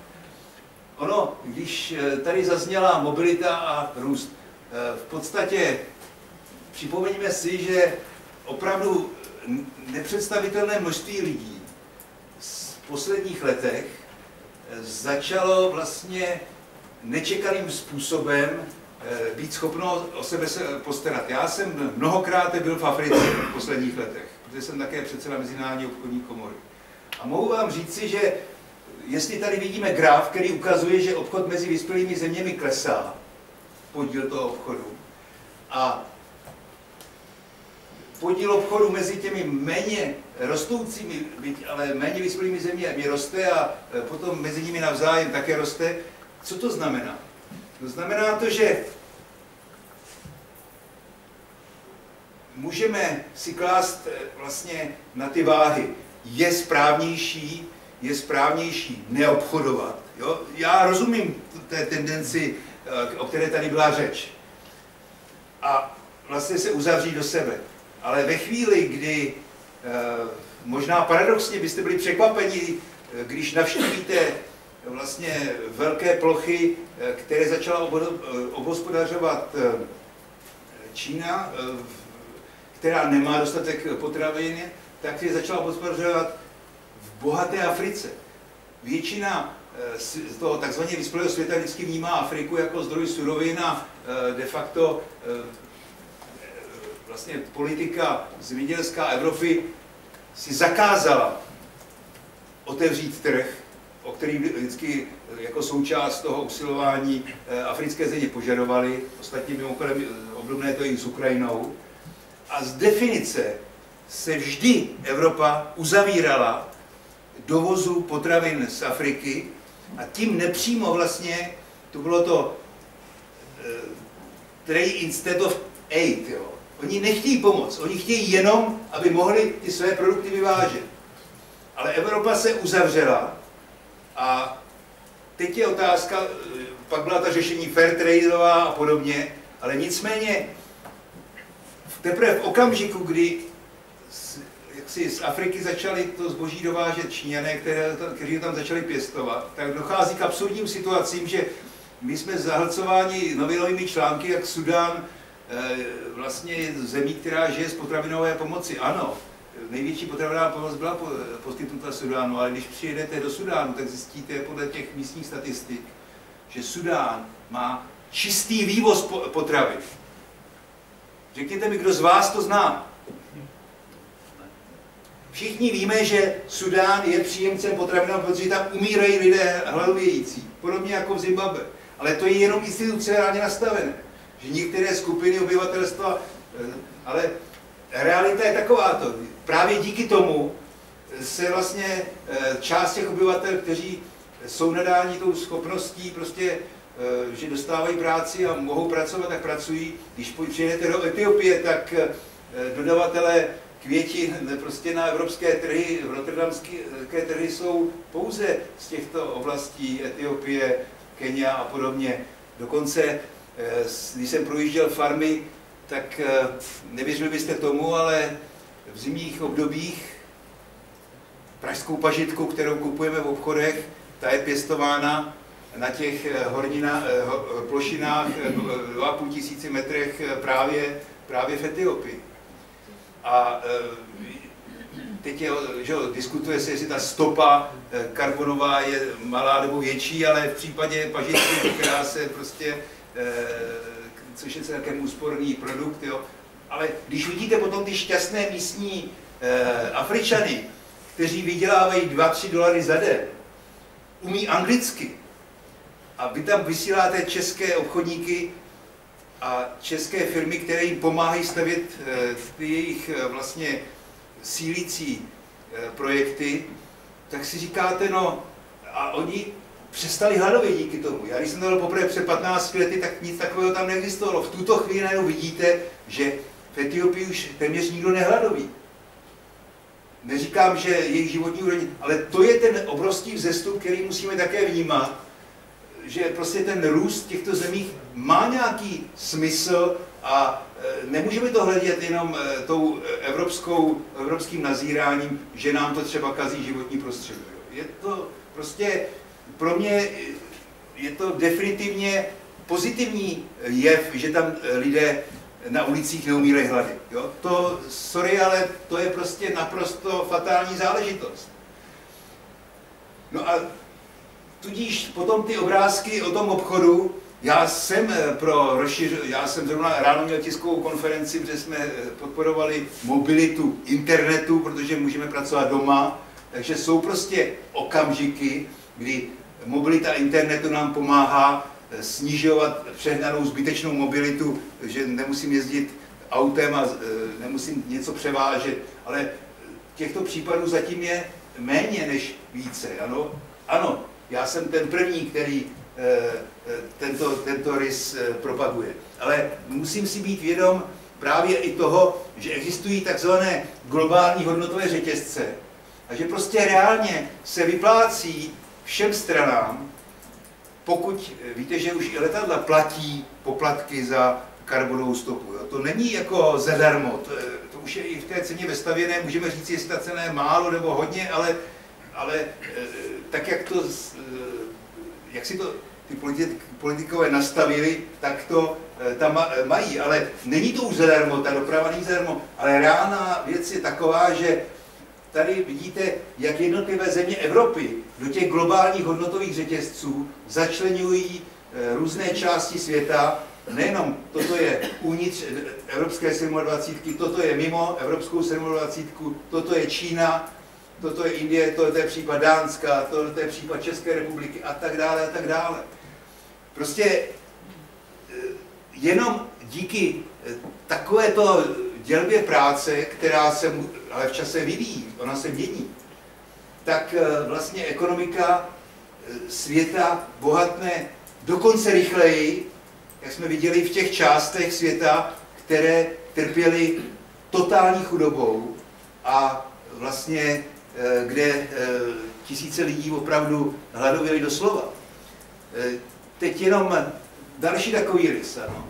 Víte, dokonce jsem v této místnosti při jiných příležitostech eh, diskutoval některé otázky, které jsou nepochybně sporné, ale souvisí s tím přístupem. Eh, jak víte, tak donedávna poměrně čistý zdroj energie plyn byl dodáván do Evropy převážně plynovody z Ruska. Eh, to byla fatálně vážná situace, kdy de facto ten čistý zdroj eh, byl vlastně eh, téměř monopolizován s výjimkou některých jiných dodávek a obdobně tomu bylo vlastně s některými jinými zeměmi a vlastně Spojené státy v té době, to červené, to jsou plynovody, tak dostávali těmi modrými cestami vlastně energii z Blízkého středního východu. Američané, kteří se nepřipojili k kyotskému protokolu, najednou, jak víte, zaznamenali v posledních letech pokles emisí, protože prostě eh, dospěli k názoru, že pro ně je strategicky jednodušší eh, vlastně vyhnout se riziku dodávek z Blízkého východu, eh, že je pro ně rozumnější spolehat se na vlastní zdroje a současně do určité míry zdevastovat své nekonečné pustiny těžbou břidličného eh, plynu. V důsledku toho klesla spotřeba v tepelných elektrárnách uhlí, které je tam těženo také velmi fosilních paliv, ale je otázka nějak dlouho, ale ty zdroje jsou složité. Prostě oni jsou ochotní devastovat část svého území, které tvrdí, že zase se čase projeví právě touto cestou, ale Plyn je v tuto chvíli ve Spojených státech třikrát levnější než v Evropě. A to ještě dokonce plyn v Evropě, kles, jeho cena klesla, protože ty zdroje z Blízkého východu začaly dodávat Nigérie, to jsou ty modré cesty, začaly dodávat vlastně z kapalněných zemí plyn do Evropy a stali se tím pádem konkurenčním dodavatelem významným a v tuto chvíli vlastně se stlačila cena plynu, ale ke všemu americké levné uhlí začalo proudit do Evropy, takže to, co se podařilo ušetřit eh, prostřednictvím obnovitelných zdrojů energie, najednou pokles těch emisí byl kompenzován nárůstem emisí zase z těch tepelných zdrojů, protože, jak víte, cena povolenek klesla poměrně nízko. Tady vidíme, jak je těžké, eh, jak se ukázala ta evropská politika nedomyšlená, zase naivní, když vlastně konec konců vedla, že v tuto chvíli my dodáváme suroviny a energii pro naše podniky prostě za mnohem vyšší cenu, ale emise jsou téměř stejné. Ano. Tak asi e, ty politiky nebyly nastaveny úplně optimálně a já jsem sám příznivcem toho, že cena evropských polenek by měla být vyšší. Ano. Ale prostě ti politikové se takto nedomluvili. Tuto chvíli, když mluvíte v Evropě, tak nevíte, jak se ta situace bude, bude vyvíjet dále a e, můžete, e, ano, usilovat o pokles ať už strukturální nebo jednotkový e, vlastně spotřeby energie na hlavu, ale nicméně e, realita je taková, že v tuto chvíli se průmysl stěhuje do Spojených států zpět. E, největší znečišťovatel Čína se také nepřipojila k těm, k těm věcem. Takže já tím jenom otevírám otázku, že e, pro Evropu to jsou signály, že chudne, high-tech výroba se vlastně přesouvá, jak víme, do Číny v tuto chvíli, do Koreje, nejlepší vlastně ty technologické výspě, kdo vyrábí solární panely? Ty se vlastně podporovali, ale ty vyrábí převážně Čína. V tuto chvíli jich, eh, třeba letos jich nainstalovali Boloni 14 asi teraba, eh, eh, teravatů, letos zase očekávají dalších 14 teravatů. Prostě Wind Energy zase největší produkce Čína. To znamená, i ty ekologické produkty, které jsme si mysleli, že budeme v Evropě vyrábět, tak se nám to nedaří a ty high-tech výrobky se nám přesouvají jinam.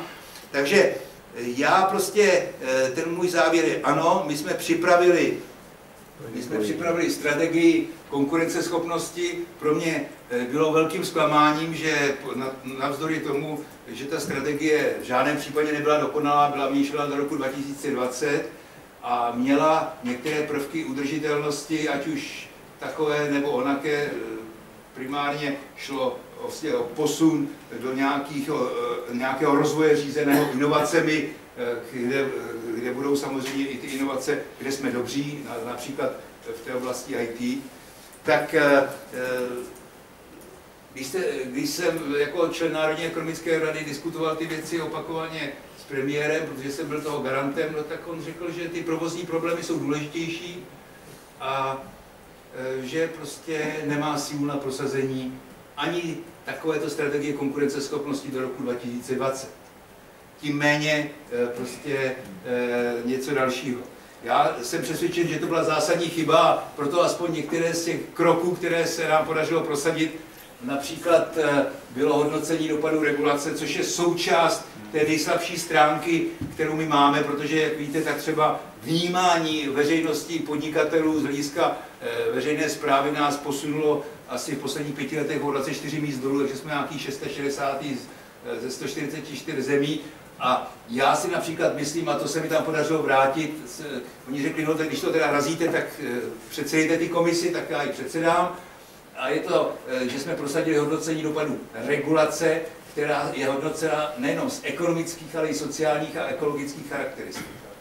Toto jsme striktně vyžadovali, vrátili jsme v prvním eh, roce 90% návrhů, které přišly, druhé eh, postupně to bylo asi 80%. A víte, jak to dopadlo? No vláda začala ty návrhy posouvat poslaneckou sněmovnou jako poslanecké iniciativy, aby nás obešla. Ano. Takže sice jsem eh, se snažil, abych třeba i sám za sebe vytvořil takový rámec, který by to, ale tak to reagují, ale to nebyla vláda, to byli prostě ti legislativci, kteří, pro, pro které jsme představovali eh, prostě velkou bariéru. Takže ano, všichni chceme, abychom šli přes oblasti jako výzkum a vývoj, přes inovace, abychom generovali eh, nejenom, já bych řekl, nejenom eh, vzdělávání mladých. My dokonce říkáme, my jsme dokonce navrhli, aby skutečně se třeba šlo cestou školek už od malička, protože eh, jsou prokazatelné eh, dopady homogenizace eh, mladých v tom smyslu, že když oni dostávají ty pokyny dříve, tak ta, vlastně ta jejich schopnost učení je daleko rychlejší. To znamená, musí se začít skutečně od začátku a samozřejmě to kombinovat se zkráceným pracovním úvazkem žen, které mají právo se vrátit včas, abychom využili těch talentů, které jsou třeba v ženách. To je naprosto fatální. To byla naše jedna z základních tezí a taky se toho chytila řada takových eh, skupin. Když se podíváte například jsou takové krásné stránky plenky v práci, .cz ano, a tak dále, to jsou takové eh, eh, iniciativy. To znamená eh, snaha žen se vrátit, ale současně o děti pečovat, takže třeba na půl úvazku pracovat a tak podobně. Tak takovýchto iniciativ jsme měli asi na 54, ale já si na druhé straně myslím, že nejenom začínat, ale že i celoživotní vzdělávání, tam já jako vidím velkou příležitost, protože ty uživatelsky vstřícné IT třeba programy, ty nám dovolují i těm lidem, kteří eh, vlastně eh, třeba přesáhli ten práh toho běžného produktivního věku, s ohledem na to, že se věk dožití posouvá taky daleko dále a já si myslím, že pro eh, sebeuplatnění člověka to je hrozně důležité a tak dále. Bohužel, jak říkám, nepodařilo, dokonce ten tým byl rozpuštěn a už nebyl nikdy znova instalován, takže z tohoto hlediska já pevně věřím, že se ta celá záležitost vlastně eh, nastolili. Takže já znovu říkám, na závěr, eh, ten problém, který trápí, trápí každého ekonoma, není jenom udržitelný rozvoj eh, v tom environmentálním a dalším, ale je to i ten sociální aspekt toho rozvoje a vnímá to globálně, nejenom z hlediska toho lokálního charakteru. A přímě řečeno, já jsem si vždycky kladl otázky, dokonce jsem s jedním sociologem, panem Baumanem, měl takovou velkou diskuzi před několika lety, tady v rámci, v rámci skoroplnosti té vize, kterou tady pořádali jako v těch eh, to setkání vize. A tam jsme si kladli otázku zcela vážnou. Jo. Eh, není to tak, že vlastně barbaři jsou před branami, jo? Rozumíte? Protože de facto, de facto takový je svět, ale takhle ho musíme vnímat. Tak zkuste to takhle také ostře eh, nahlédnout a eh, promiňte mi ten můj pohled, který je možná pro někoho třeba trošku drsný. Děkuji za pozornost. Děkuji panu profesorovi, to bylo velmi zajímavé. Samozřejmě, že očekávám velkou diskuzi k tomu, protože některé ty věci jako byly řečeny značně tradičně, bych řekl. Ale teď bychom poprosili už teda o takový příklad, a to je Smart City Prague. Já bych poprosil pana architekta Štěpánka, jestli by mohl tak už jde. Nám říci, očekávám takté, že k tomu bude asi velká diskuze. Jestli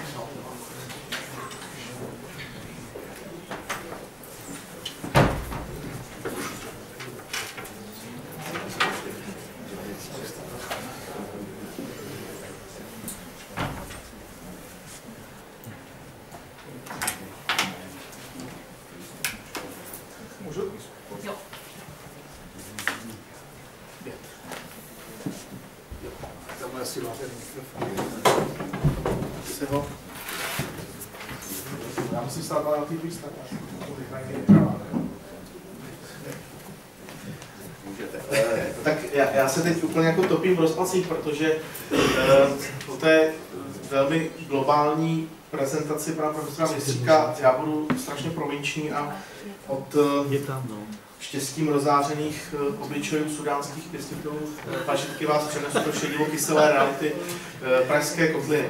To mám taky rád, ale jsem taky. Ale to nepochybuji. Já jsem si už několikrát pažitku pěstoval. Ne, nebudu to zlehčovat, protože Smart Cities je téma na výsost vážné samozřejmě. Uh, proč to tady říkám? Uh, jednak uh, téma Smart City je spojené s tématem udržitelnosti měst, což je myslím ten důvod, proč uh, mě uh, tato slouchná společnost pozvala. Uh, druhá věc je, že vlastně jedna z těch asi pěti tezí, kterou mám ambici zde jako zanechat v širším povědomí, je vlastně pro udržitelnost města je nejdůležitější jeho ekonomika, což je výsledek nějakého jako kodifikovaného výzkumu. A teď vám k tomu něco řeknu. Eh, dneska termín Smart Cities je jako extrémně zprofanovaný, eh, vlastně jako inflace, všechno je smart. Eh, do jisté míry, takže já jsem samozřejmě, když jsem si připravil tuhle prezentaci, jak jsem napsal Smart City do Google a máme jako první obrázek, který jsem tam formátu vyhodil, tak jsem sem dal. Co je to Smart City? Tak to je několik co je třeba udržitelné město, to je, jako trošku se to termíny překrývají. Eh, někdo, třeba profesor Moldán eh, a jeho tým to vnímá jako Carbon Zero City, za udržitelné město z pohledu klimatu. Eh, potom třeba korporátní sféra, která v tom budování chytrých měst došla velmi daleko, jsem mluvil například IBM, to vnímá jako model spíš jako algoritmický model v širším slova smyslu. Harmonizace všech nástrojů nějakého jako bytí toho města, městského inženýrství e, a e, podobně. E, potom Evropská unie má svoji iniciativu Smart Cities a ta se na to dívá trošku podobným způsobem. Je to vlastně zase opět jako harmonizace těch projektů, které obvykle ta Evropská unie v rámci své kohezní politiky eh, financuje. A jde primárně o tom, aby nefinancovala protichudné eh, projekty. A taky v tom nastávajícím kohezním období 14-20, kterého teď zase budou chvíli plné noviny, eh, Evropa zvolila trošku jinou, jinou politiku, protože zatímco ta dvě předcházející období, která se nás dotkla, takže v případě České republiky 4.6 a 7.13, byla více o kohezi, to se jako vyrovnávaly rozdíly a eh, pomáhalo se slabším. Tak teď i z těch důvodů, které tady naznačil profesor Mejstřík, to znamená jako akcelerace růstu eh, v zemích jako je Čína nebo Indie, konec Afrika, nebo Latinská Amerika, je potřeba pomáhat těm tahounům a Evropská unie identifikovala, že jsou to města, třeba operační program pro Praha pol růstu. No a Eh, potom je to čistě nějaký jako infrastrukturní, urbanisticko-inženýrský eh, pohled, konec konců jako obor, které, eh, který se věnuje Smart City se prostorové plánování, což je v češtině trošku jako nepřesné. No, ale proč, proč, proč, proč, tu, proč tu stojím? Tak v Praze se připravuje strategický plán hlavního města Prahy. Ty důvody jsou dva. Jednak po jako poměrně dlouhé době Eh, je v Praze eh, jako osvícené a relativně kvalifikované eh, vedení města. A ten druhý je, že samozřejmě každé město potřebuje strategický plán, mimo jiné proto, aby mohlo čerpat evropské fondy. Různá města to řeší různým způsobem. Teď zdráhám, no ten mě opustí, že už to slyší po druhé, nicméně prostě oblíbená Eh, poznámka je, že jsem kontroloval strategický plán pro Karlovarský kraj, tak jsem objevil slovo Sleský, protože to prostě metodou kontrol copy, kontrol V. Obvykle ty strategické plány vznikají tak, že město vypíše zakázku, přihlásí se nějaká jako firma typu v lepším případě teda PVC nebo Deloitte, v vašem případě nějaký jako e, místní poradce a vytvoří tímhle způsobem za třeba 300 tisíc korun prostě strategický plán města Olmos, což je jako špatně a jeho se udělá jako další plán. Eh, v Praze eh, se zvolila jiná cesta a to tak, že eh, ten úkol stal bývalý útvar rozvoje města, dnešní institut plánování rozvoje města. Vznikl tým zhruba 30-40 lidí, na kterém se personálně podílí i Česká Evropská rada pro rozvoj. A máme za sebou analýzu a teď jsem si vědom omezeného limitu a tak najednou řeknu, jak je na tom Praha. Jako je na tom opravdu špatně. My jsme jako promrhali 15-20 let potenciálního rozvoje. Vídeň už se nás vůbec jako nebojí a tak dále. A všechno, co si o Praze myslíme dobrého, tak už je jako pasé. Jo. Takže už se nejezdí lidé za památkami, prostě každý se, nebo skoro každý si odškrtne, byl jsem v Praze a nevrací se sem, na rozdíl od těch měst okolo nás. My tady nemáme tady udržitelnou turistiku, teď se začínáme bát jako nějakého dánského nájezdu. Pak tady máme eh, přicházíme o kongresy, protože jsme to prostě nějakým způsobem promrhali tu příležitost, vytrácí se osud průmysl, nejsme schopni sem eh, natáhat mimo jiné tady kvůli eh, nízké eh, mzdové hladině odborníky. A když už dostaneme z Evropské unie prostředky třeba na vědu a výzkum, tak v rámci jako vlastní administrativní hlouposti si ty tři největší výzkumná centra postavíme nikoli v Praze, ale ve Vesci, v Řežanech a Eh, Buštěhradě, což je taková vnitřní periferie Českého hradu, doufám, že tam nikdo z vás nevědí, ale jako, darmo mluvit. Takže multidisciplinární prostě, uh, instituce stojí někde na kraji. Víme proč, protože uh, žádný z úředníků svého času na ministrině Kuchtové nebyl schopen identifikovat uh, nebo prosadit to, co třeba ve stejné době v Mnichově byli schopni prosadit, že dopady výzkumu jsou celostátní proto ty výzkumné ústavy klidně mohly stát ve středu města, kam patří. Takže to je jakoby další příklad toho, jak to může uvažovat. No a v tuhle chvíli píšeme tu pozitivní část, píšeme, máme strategické cíle, programové politiky, specifické cíle, návrhy opatření. Vzniklo tam šest týmů, Ivan Gabal vede skupinu sociálně soudružné živé a kulturní město, zkrátka prostě kultura život, sociální koheze. Malé děladička fyzicky prostupné, a tady prosím jako na to dávám jako prostupné, dostupné a propustné město. To je propustnost třeba která se týká i biokoridorů, propustnost pro chodce, propustnost pro samozřejmě pro dopravu jak hromadnou, tak individuální, pro cyklisty a podobně. A v tom můžou hrát úplné maličkosti.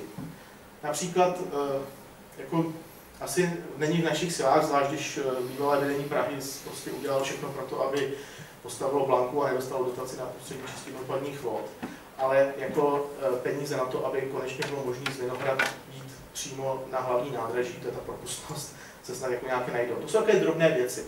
Naši předci, které byly mnohem moudřejší, bohužel, než to, co tady to dělo po druhé světové válce, tak, tak budovali třeba ty pasáže ve městě. Takže se jako po tom městě, tam, když ty pasáže ty fungují, dobře, dobře pohybují. A tak dále, tak dále, teď tady nebyl lekce z urbanismu. Prosperující město je Reichspicar, vlastně jako, jsou tam poměrně provokující teze. Třeba myslíme, že by se do Prahy měl vrátit průmysl, protože dneska průmysl je většinou nějaká jako velmi čistá montovna, spíš laboratoř než dílna a je škoda, aby, a je to vlastně jako psychologicky náročné pro ty lidi, aby za tím průmyslem jezdili do nějakých polí prostě za Prahu. Prostě, když půjdete po tradičních pražských čtvrtích, tak tam najdete zbytky pivovarů a tak dále. Dneska jsou z toho samozřejmě lofty. Funkční a estetické kvalitní prostředí ve městě je, je můj tým, který se zabývá jak tím prostředím životním, tak tím prostředím, které formuje architektura urbanismus, chytře a transparentně zpravované město, smart, smart governance, Honza Kassel a metropolitní územní plán, což jako velká věc vede docent Koucký. Obecně ta naše práce má nějaký jako vědecký charakter, bez ironie, a máme čtyři základní paradigmata, tím, kterým poměřujeme, poměřujeme každý náš krok a slovo, tím je kvalita života, udržitelnost, proveditelnost a benchmarking. A teď je ta první otázka. Jako benchmarking, jestli jsme na tom lépe nebo hůř než Vídeň, nebo Drážďany a podobně, neporovnáváme se s Brnem, chraň. A e, ta kvalita života, co je to kvalita života ve městě, co je to kvalitní život ve městě. A tady jako e, na jednu stranu si pod tím každý může představit něco jiného, ale na druhou stranu, a teď se dostávám jako k té základní tezi, je, že pokud lidé chtějí žít spolu ve městě, tak v maximální možné míře musí sdílet nějaký hodnotový systém. A tam, kde ho sdílejí, tak to město funguje. Tam, kde ho nezdílejí, tak je to spíš jako by velká vesnice. A profesor Mistřík tady zmínil některé, některé jako nacionální kliše, což je úplně nejlepší humor, jaký existuje. A já se k němu přidám. E, e, jsou národy, která jako mají talent stavět města a žít ve městě a jsou národy, které ten talent e, nemají. Jako my to ještě jak tak umíme, ale prostě Němci a Vlaňané to umí lépe. Což poznáte, když e, přijete do Hřenska a zjistíte tam ten současný stav, je prostě jako naprosto z, z, zmrhaná, nebo jako unikátní, nádherná morfologie krajiny a tak dále. A pak přejdete pět kilometrů do Saské díry, která se jmenuje Bad Schandau kterou ale jako dokázali dát do stavu e, takového, že tam teď všichni ti Češi jezdí, takže je to vlastně jako, jako české město. Jo, takže, takže ten hodnotový systém je důležitý. A já, já se teď odbočím, uh, Raymond Rechnicer uh, byl, byl uh, urbanista, uh, jugoslávský, uh, měl štěstí, že byl žid, což jako jedna z mála příležitostí, která, která situací, kdy mu to jako nějakým způsobem pomohlo, takže ho když Srbové obsadili kousíček Sarajeva, takové území, které bych nazval jako, jako Sarajevská Anspalka, tak obléhli to město a ty Srbové, tam nešlo to, že to byli Srbové, ale prostě byli to ty rurální, mačodní zemědělci z těch vrchů okolo. Oni nenáviděli to město, že to město multikulturní, ve kterém roce 90 byla průměrná mzda 500 marek, nevyráběly se tam favority, ale vyráběly se tam VW Golfy a tak dále, a tak dále, prostě nesnášeli. Ti lidé tam žili tím městským způsobem života. Městský způsob života je o sdílení. A proto, když dobili tu Hanspalku, Sarajevskou, tak oni ji jako začali plenit, ale ne způsobem, že by začali vykrádat to drahé zařízení a někam se odvážet, že by se usadili v těch luxusních domech a, a tak dále, že on se tam jako profesor urbanismu žil docela dobře, ale oni si postavili stany na zahradách, rozdělali ohně a, a, a vlastně tam přinesli ten rurální způsob života. Když jste, když jste pišný obyvatel vesnice, bohatý třeba, no tak máte oplocené nějaké ohromné pozemky, ve svém domě máte bazén, eh, máte tam jako velké stodoly, máte hodně pokojů a tak dále. Když jste pišný a bohatý obyvatel města, tak tu píchu a bohatství dáváte ne úplně jiným způsobem, čím jste kulturnější zemi, tak kulturnějším samozřejmě, nejezdíte čípů a tak dále, máte třeba dobrou cestu. Jo? A, a, a třeba budete hodně vysoko. A to je ten rozdíl. A je to vlastně o tom hodnotovém systému a čím více ten hodnotový systém sdílíme a rozumíme mu, tak tím snadněji se nám v tom městě žije. Protože vlastně všichni, ať, ať, ať ti méně či více důležití a chudí a bohatší, vlastně jako tu kvalitu života, která v tom městě je reprezentovaná operou, metrem, dobrými restauracemi a tak dále, sdílíme. Jenže to město si tím spádem musí nějakým způsobem řídit. Tak, to je jako několik defi, definic, co je to udržitelné město, ale uh, uh, tam asi nejdůležitější je, že vlastně ta udržitelnost města je nesmírně křehký organismus. A to si uvědomme, vůbec jako nemusíme jezdit do nějaké exotické země, ale stačí, když jedeme na nějakou negociaci do Bruselu, uh, řešit naše jako městské problémy. A tam okolo jižního nábřeží, nádraží, pardon, Staligradská třída, uh, uh, to, to byla kdysi jako výstavní buržoazní čtvrť, dneska je to přestěhovalecká, de facto jako vybydlená, eh, sociálně vyloučená lokalita, 500 metrů od Grand Placu. Jo.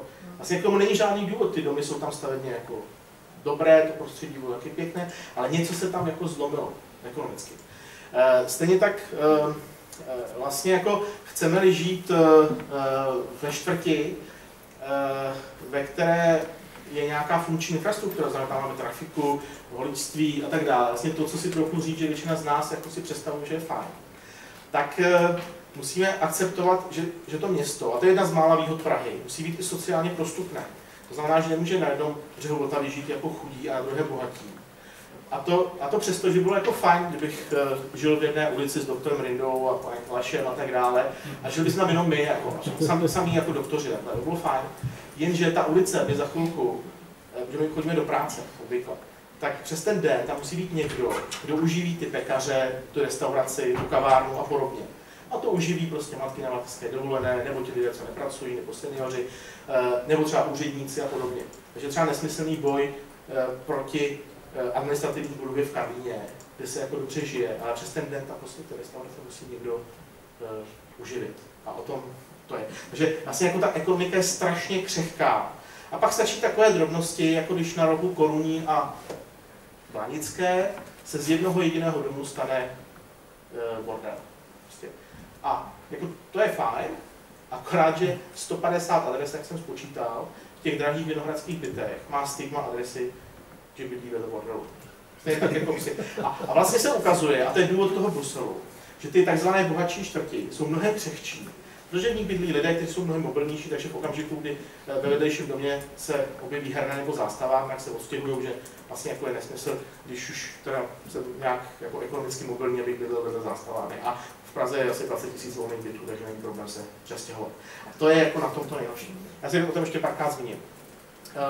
Když eh, jsem mluvil o tom strategickém plánu, a hlavně teda proto, aby bylo vidět, že, že to není problém teoretický, ale praktický a, a, a determinovaný právě paradigmatem proveditelnosti, tak Eh, ta, ta má skupina prostředí eh, vydefinovala několik problémů a v tom, že jsme to tak jako rozdělili, tak, tak se nám jako podařilo vyřešit několik problémů.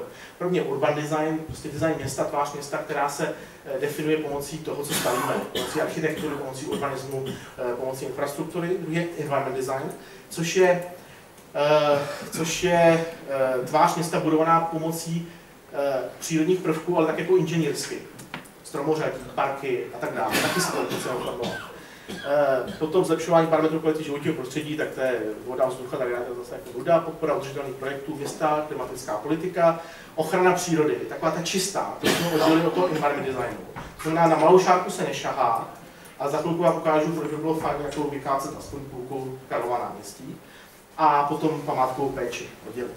Jo. No a e, protože e, se na ty věci koukám přes peníze, tak jako můj oblíbený obrázek, to jste možná někde viděli. E, ulice Varšavská, ulice Vinohradská, naprosto srovnatelné. Já jsem na ten výzkum dělal jako poměrně jako explicitně, tak to si několikrát prodat na těch konferencích. Ve Varšavské ulici jsou byty o milion až dva miliony levnější než americké, přestože jsou stejné, jsou postavené ve stejné době, mají tam sociodemograficky stejné obyvatelstvo a tak dále.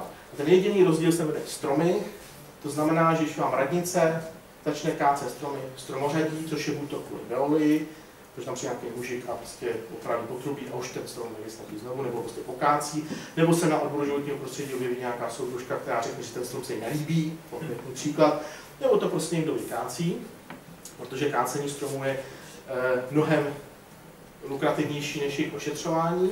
A třeba Praha doteď vůbec nespolupracovala s Voukozem v Průhnicích, který má za 5 km za hranicem Prahy, výzkumný ústav Silvia Tarusiho.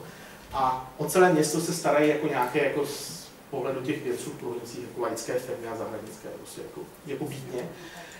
A e, takže když vám jako vykácí e, na té ploše e, v takovéto čtvrtě, ale i v mnohem levnější ty stromy, tak vás vlastně jako okrade po spoustu tisíců korun. A vychází to tak, že když tam ty stromy jsou, tak ten multiplikátor je 15 až 150, 150 to je dražší, 15 korun. Vysadíte 20 stromů, to stojí milion korun a ve 150 bytech v tom bloku se zvýší cena o 100 až o 100 tisíc až o nějaké jako miliony. Takže peníze. To, že tam ty stromy patří, tak je jako vidět dole, jednak stará pohlednice z třídy, neměnily se, a, nebo ještě nějaká jako zahraniční. Jenže, a tím se dostávám, proč se říká smart city, chytré město. Protože vlastně náš hlavní problém nejsou peníze, ale vlastně jako strašně moc, jsme si mohli dovolit postavit banku a, a tak dále. Ani nejsme chytří. To je jako problém, že samozřejmě třeba jako e, městské části jsou zpravované jako nějakou třetí ligou těch politických elit, nebo spíš ještě horší. A e, takže e, hlavní heslo toho programu Environment Designu je méně keřů, více stromů. A je to takový jako civilizační indikátor. Civilizace, ve kterých je město uděláno stromy, eh, tak je vyšší civilizace než civilizace, ve kterých jsou keře. A víte, jak ty keře tam vznikají? Já to znám jako architekt. To prostě máte výkres. Ten výkres je takový jako nudný. Tak si z toho AutoCADu vytáhnete ten, ten model to a na, nasekáte tam ty stromy. Jo. A přes ty stromy, přes ty keře jako nevidíte, je to vlastně bariéra eh, a tak dále. Je to alternativní toaleta samozřejmě. A teď tady máme Karlovo náměstí, zase jako můj oblíbený. To, a to, to Karlovo náměstí, jedno z největších náměstí v Evropě, největší ve střední Evropě, je prostě spackané tím, že tam za A projíždí doprava, no a za B je tam prostě ohrada z keřů. Takže přes to náměstí, přes které se logicky chodí všude cikcák a tak dále, tak vlastně jediné místo, které funguje jako náměstí, je tady to místo před Charitasem, kde jsou prostě tramvaje a tak dále, a kde tady teda v té administrativní budově jsou nějací lidé a je tam nějaký obchod a podobně. Sem se lidé jako trošku bojí a vlastně to poznáte tak, a proto je pro udržitelnost města důležitá ta estetika. Jo. Že já teda teď poměrně často díky tomu jezdím z toho Karlova náměstí, tak když mám jít někam sem, tak prostě tady se jdu na tramvaj, takhle jdu tramvají. A nenapadne mě pěšky že bych tady musel vlastně překonat tu bariéru, najít vlastně nějaký schody, vchod a tak dále, to prostě jako špatně. Zatímco, když jsem e, ve své kanceláři v Halíčkových sadech a mám jít z nějakého důvodu do Rýdových sadů, tak mě díky těm předkům, co postavili vinohrady, nikdy nenapadne jet ničím a jdu pěšky, protože to vlastně hezká cesta. Potká nějaké známé, koupím si noviny, zastane se na kafe a tak dále. Takže vlastně ta zdánlivě jako nesouvisející věci, ale prostě jako esteticky kvalitní město vám udělá, vygeneruje průchozí město a, a, a budete chodit jako více pěšky, což je náš uh, sen. Na druhou stranu, když budete vidět satelitu a budete všichni schováni za dvoumetrovými zdmi, uh, což si neprosadili ani bohatí a elitní obyvatelé třeba Ořechovky v 20. letech, tak uh, prostě těch 500 metrů té pizzerie vás jako porazí hladová, tak, eh, tak prostě pojedete autem. Jo. To, je, to je jako, nemá cenu převychovávat lidi, musíme nabízet alternativy. A, eh, a samozřejmě to potom má nějaké jako ekonomické konsekvence, které jsme schopni minimálně odhadnout. Eh, znečištění ovzduší v Praze, tak prostě je to fakt, je to velký problém. Problém je to protože nemáme dokončený okruh, protože prostě jsou tam nějaká jako špatná rozhodnutí taky je potřeba analyzovat to znečištění ovzduší. Takže 20% znečištění ovzduší v Praze je z nezakrytých staveb. Zakrývat stavby, tak jak to dělají v civilizovanějších zemích, než jsme my, je strašně jednoduché. To nejsou jako desítky miliard na dostavbu okruhu.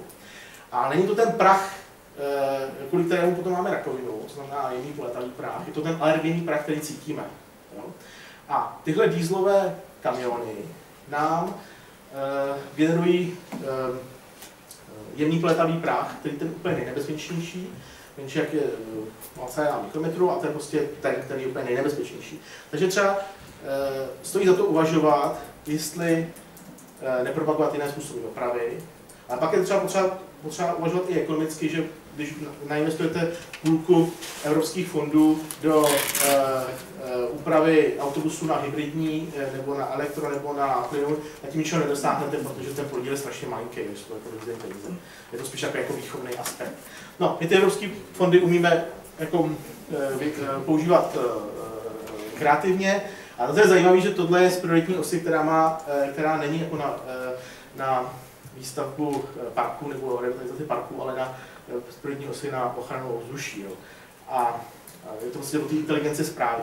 A teď máme jako jedno závažné téma je, že Praha je vlastně strašně prostorově rozsvěcená. A e, e, Praha má potenciál, když jsem to spočítal, asi 300 tisíc lidí, které se, se můžou nastěhovat do centru a to se může zastavit. A Praha je větší než Vídeň, mnohem, a má o 4 milionů méně obyvatel. A to, že je prostě roztahaná, znamená, že to není město krátkých vzdáleností, to znamená, že ta infrastruktura čištění ulic, eh, eh, vodovody, kanalizace a podobně stojí mnohem více eh, a vlastně potřeba se zamyslet, jak tu Prahu zahustit. Město krátkých vzdáleností úplně stejně environmentálně jako hodnotné město jako město, ve kterém jsou velké plochy zeleně, což je na jednu stranu výhoda Prahy. Ale my se musíme zamyslet nad tím, co to je za plochy zeleně, protože ne každý byl těch lidových sadů. Tam je ohromné množství zeleně, která je vlastně jako městská džungle. A e, to je prostě buď to, má být jako městský park, nebo je to teda třeba chráněná rezervace, který zase ty Praze až není, a nebo prostě je to stavení pozemí. A tak dále. Problémy, jenom jako namátkou. Tak e, máme, prostě nepoučili jsme se a původního konceptu pro dělníky ve Spojených státech zbohatlé po druhé světové válce, to znamená prostě unifikované satelitní domy, se stal v 90. let sen české střední třídy. Eh, satelitní domy začaly vznikat několik podél železnice, protože v té době ta železnice upřímně řečeno jako nebyla moc sexy a vznikaly okolo výpadovky na dálnicích.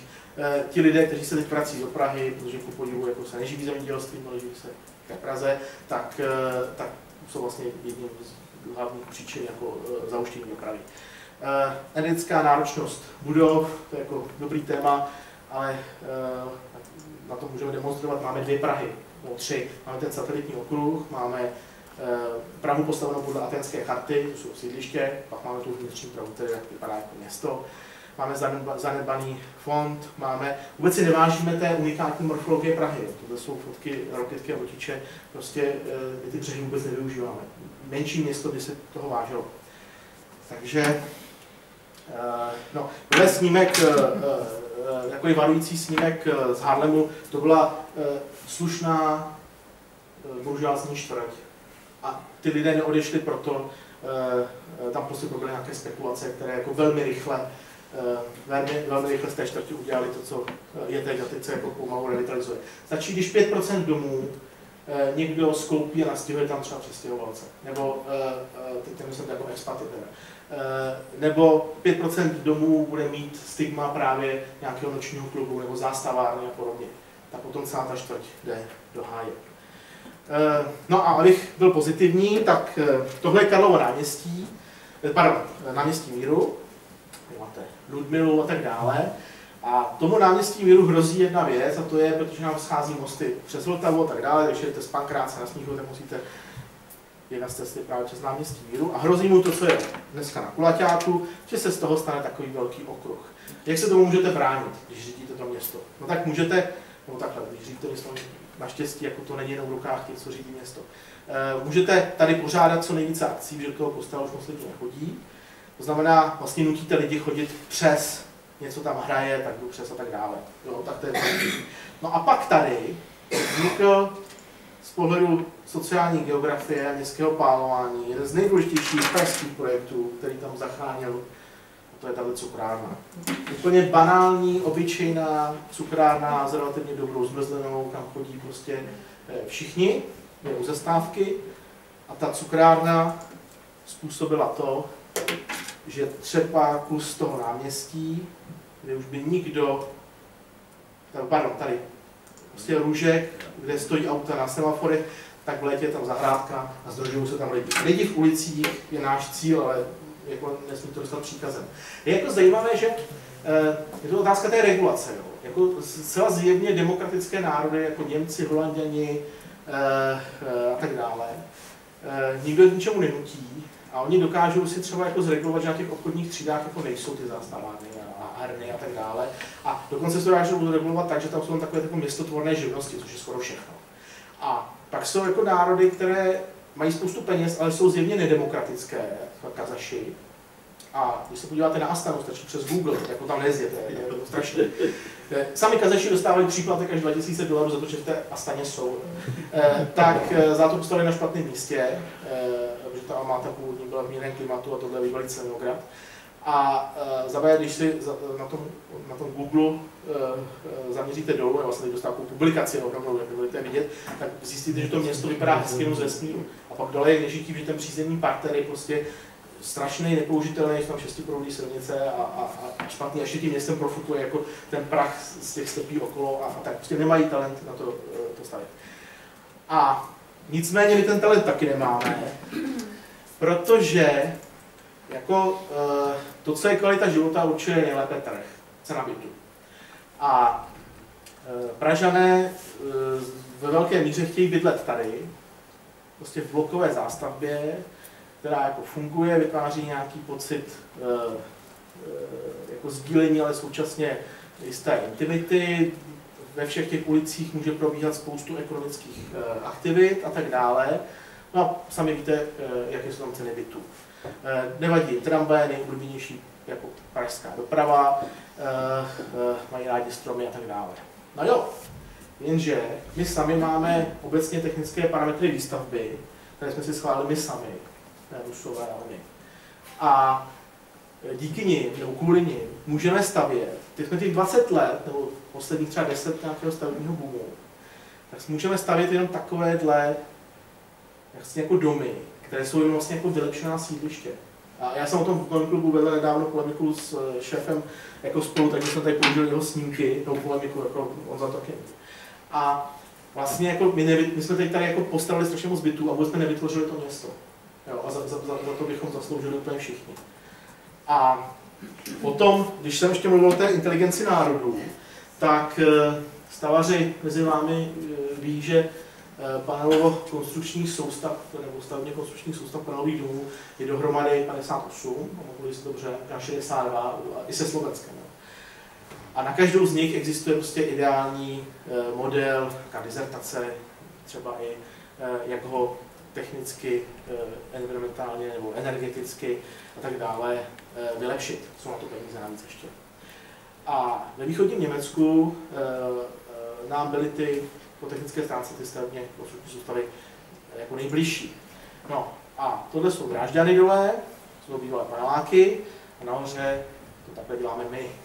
Protože jsme hloupí, přijde na schůzi družstva dealer, nějaké firmy, co prodá omítky a pak z toho lezou ty vlnovky a, a děláme se tam takové jako střížky, což je prostě ještě větší perverze než ten bordel na jako kolumní ulici a tak dále. A tohle, tohle, tyhle rekonstrukce v těch drážďanech obecně, nebo v průměru, stojí o čtvrtinu až třetinu víc než rekonstrukce u nás v absolutních částkách, eh, což zvážíme ještě stále jako velké rozdíly v mzdách a tím, že dvě třetiny nákladů na tu rekonstrukce jsou byly, tak, tak, tak je o něčem svědčí. No a to je náš vzor. Máme jedno velké štěstí, že to vlastně jako celý nemusíme vymýšlet sami.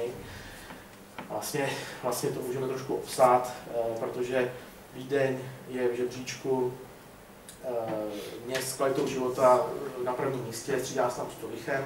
Je to obdobně velké město, jsou tam samozřejmě nějaké historické paralely, eh, jako má více památek, má podobně jako zašklé lidi, jako jsou Pražané a tak dále, je menší, má více obyvatel, má řeku, do jisté míry se jí taky dotkla existence východního bloku a tak dále, a tak dále.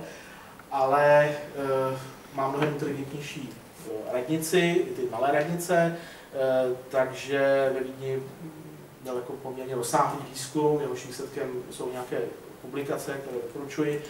A na to vlastně jako hodně věcí vyřešili za nás. Vyřešili věci, které se týkají energetiky a obnovitelných zdrojů, takže vy vidíte, narazíte jako na ohromné transparentní už fotovoltaické panely a, a, tak dále, ale také tam už třeba se nesmí používat plastová okna, což se nám architektům vadí. Mě to neváží k nám, že? pomstu za rozbití Rakouska eh, Děkuju. A teď eh, já jsem viděl, že se zapovídám, a tak jsem, no, a tak jsem si připravil eh, pedagogicky pět tezí, které jsem chtěl říct, no, které jsem chtěl jako tady po sobě zanechat. Tak první, to tady padlo, je, že prostě vlastně pro udržitelnost města je nejdůležitější je vnitřní ekonomika, si jako myslíme cokoliv. Uh, udržitelnost města je uh, konkurenční výhoda. Uh, a musí, musíme uvědomit, musíme mít velké nároky na ty, co to město řídí, uh, protože to je často jako dost, dost bída. A jako třeba Praha 10 je ani čtvrtý nebo třetí největší město v Čechách, jo, a, a podívejte se, kdo to řídí. A e, potom je potřeba rozlišovat vlastně, to předposlední teze, je potřeba rozlišovat vlastně, co je urbání styl života a co je, e, co je městský způsob života. To je ten základní rozdíl. A poslední věc, my jsme v tom našem týmu strašně podceňovali participaci obyvatel na tom rozvoji. Měli jsme to takový jako profesorský přístup, jo, že, že prostě dáme dohromady 20 eh, odborníků a když, nám, když něco máme vědět, tak třeba 22, jako další dva. A e, pak jsme zjistili, že vlastně, a to vidíme všem kolem že veškeré debaty o rozvoji města jsou strašně hysterické. E, občané se brání, nějaké aktivisty se brání a podobně a používají jako hysterické, nesmyslné, zákeřné často jako argumenty. Developři, což je jenom překlad anglického slova nebo anglický termín pro stavitele, zase vidí v každém, kdo chce o něčem polemizovat toho aktivistu, takže jako, je to druhý jako vyhraněný konec, to špatně, co budou dvou stran. A, a mě, mě to úplně jedno, protože prostě pokud hlavním opinion leaderem je kuchař, tak je to těžký. Že? A takže, eh, takže eh, já už jsem na jedné konferenci říkal, že bych zavedl něco jako občanská výchova, tak jsme investovali spoustu peněz do environmentální výchovy, aby do nějakou městskou výchovu, která by eh, třeba v rámci té občanské výchovy vysvětlil vlastně, je to sdílení toho městského prostoru, veřejného prostoru, co je to budování veřejného prostoru. A pak by ty debaty, eh, které jsou nesmírně důležité, a eh, to deklarování na, našich občanských představ, co je to, eh, co je to kvalita života ve městě, probíhaly mnohem, mnohem kvalitněji a vlastně začínaly by až jako velmi vysoko v rámci odborné úrovně. To je všechno, děkuji za pozornost. Děkuji panu architektovi, asi k tomu bude taky diskuze. A teď bych poprosil už našeho posledního panelistu, pana docenta Hajka, který nám řekne k návrhu integrovaného reportingu na úrovni podniku. Takže podnikový reporting.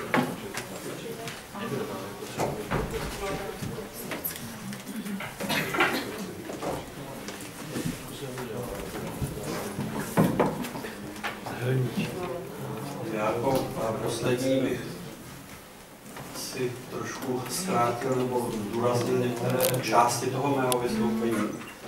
Je eh, zaměřeno na eh, reporting udržitelného rozvoje, protože eh, například v rámci podnikatelské rady jsme si říkali, že se tímto směrem soustředíme už vzhledem k tomu, jak to u nás vypadá s reportingem a se zaměřením reportingu na udržitelný rozvoj. A e, potom, pro, protože e, tady teda máme zase tu skupiny a e, ta skupina, která se zabývá touto problematikou, je desátá v pořadí v podnikatelské radě a je zaměřena na nové metodické trendy a snažíme se, aby jsme trochu stačili tomu trendu ve světě a snažili, se, snažili jsme se v tom smyslu toho světového trendu eh, u nás ukázat předně členům podnikatelské rady a potom i dalším jakým směrem v tomto, v této oblasti. Bych tedy přeskočil. Je, je tedy důležité nebo zajímavé se podívat na to, proč vůbec se ten reporting udržitelného rozvoje dělá, proč v jiných státech je hodně v popředí, nebo i celosvětově, u nás tedy zatím moc ne. Je důležitá orientace nebo podívat se na investory, protože investoři se dívají hodně kupředu a ty podniky, které uplatní reporting udržitelného rozvoje, tak samozřejmě jsou zajímaví pro, pro investory, protože investoři tam potom vidí v tom reportingu, co potřebují. Je, je to důležité samozřejmě z hlediska strategického rozhodování.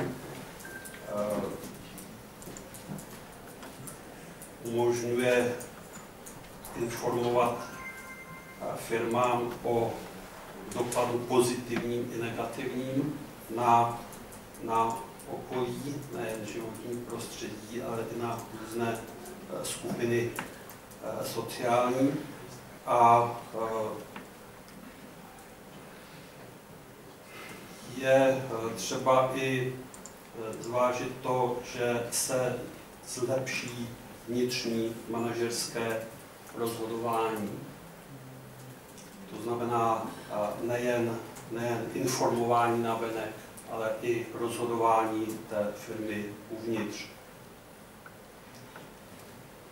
Eh, jako eh, jedno, jeden důležitý eh, výzkum, který byl prováděn, nebo výzkum mění u těch podniků, které, které zavádějí nebo mají zaveden reporting udržitelného rozvoje, byl, byl udělán tento průzkum u 250 největších firm, kteří, kteří teda tento reporting mají. A je zajímavé, že přínosy tyto firmy vidí v prvé řadě inovací.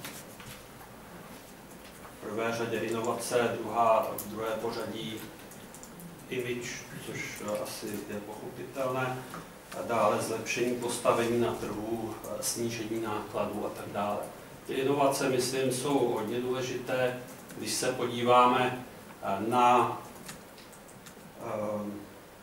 na nás, tak my jsme dělali na univerzitě průzkum, tedy ne u těch, kteří mají reporting udržitelného rozvoje, protože těch podniků moc není, ale u, u firm, které zavádějí nebo mají normy ISO 14 stovků nebo EMAS, a tam je zajímavé, zajímavý taky posun tímto směrem, protože ještě před 6 lety eh, tyto firmy měly na prvém místě právě image nebo i zájem o životní prostředí, tam psali v podivu. A, a letoš, v loňském roce, kdy jsme dělali ten průzkum, tak se ty přínosy u našich firm posunuly k ekonomickým ukazatelům, ke konkurenceschopnosti.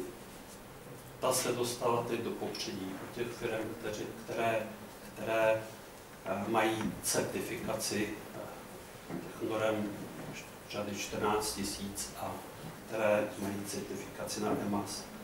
Takže eh, tento posun je zajímavý, je zajímavé to, že tím, tím, tím přínosem udržitelného rozvoje je opravdu oblast ekonomiky, inovace, konkurenceschopnost.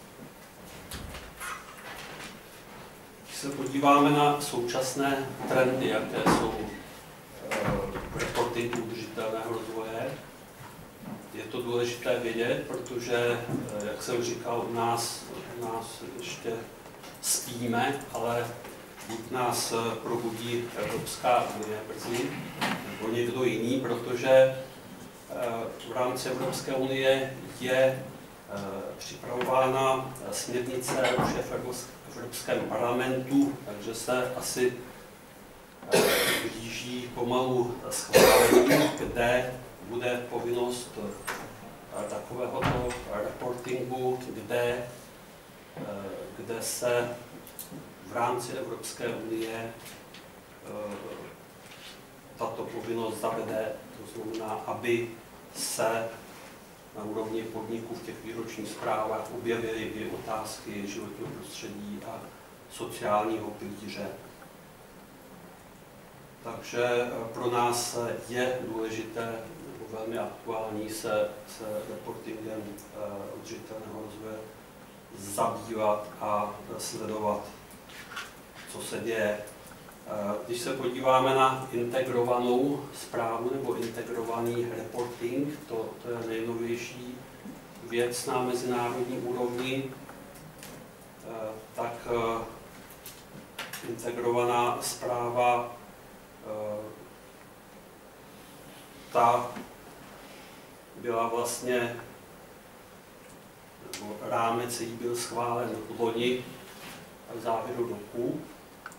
A mm, to znamená, že málo podniků zatím jde tímto směrem, ale je třeba vidět, že, že to je určitým také trendem a, a nejnovějším je třeba se si toto sledovat, podíváme-li se na celkové trendy. Eh, velmi známé, bych řekl, velmi známá metodika je GRI, Mezinárodní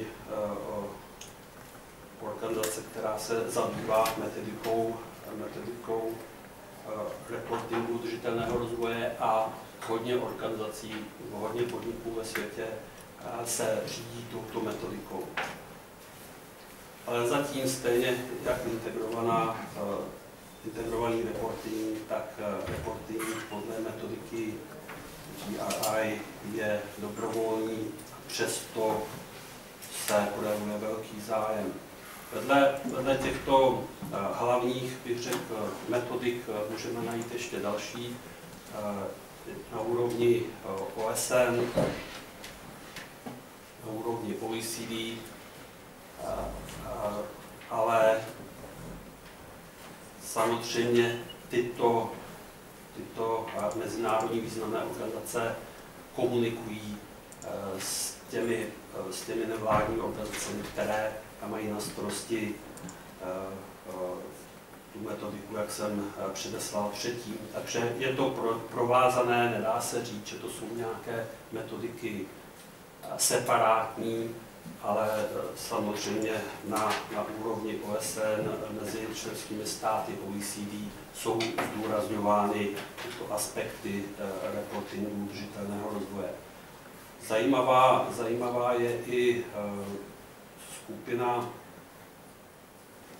takzvaná skupina přátel paragrafu 47, která byla založena po poslední konferenci v Riu, a která je zaměřená právě na podporu reportingu udržitelného rozvoje.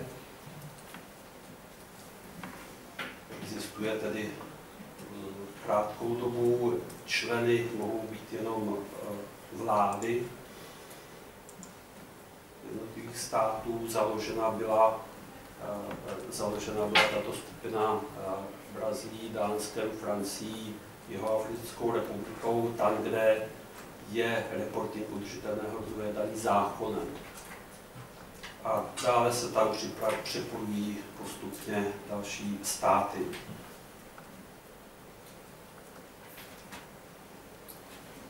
Tady eh, pro zajímavost, protože, eh, protože ta metodika GRI je, je opravdu asi nejpropracovanější a nejvyužívanější tady je vidět eh, nárůst firem eh, mezi rokem 2008 a 2013.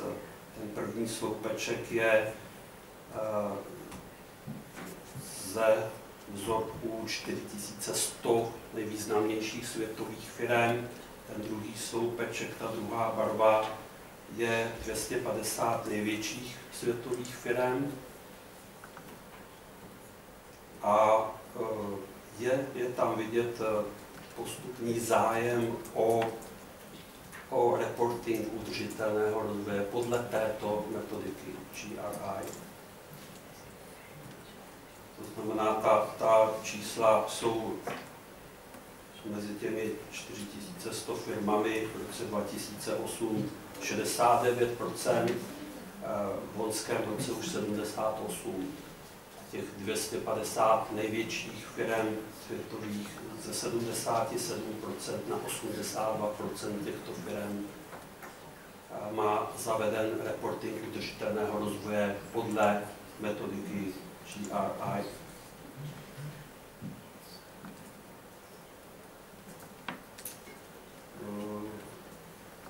Tady je zmínka no, kolem, kolem uh, social responsibility a uh, metodiky GRI. A samozřejmě to má k sobě na jednu stranu hodně blízko, na, na druhou stranu metodika GRI je, je tam daleko propracovanější a jsou tam jasná pravidla. Tady mám potom nějaké principy kolem té, toho reportingu eh, podle metodiky GRI, to přejdu rychle. A chtěl jsem se, zastavit u eh, toho, jak to vypadá u nás.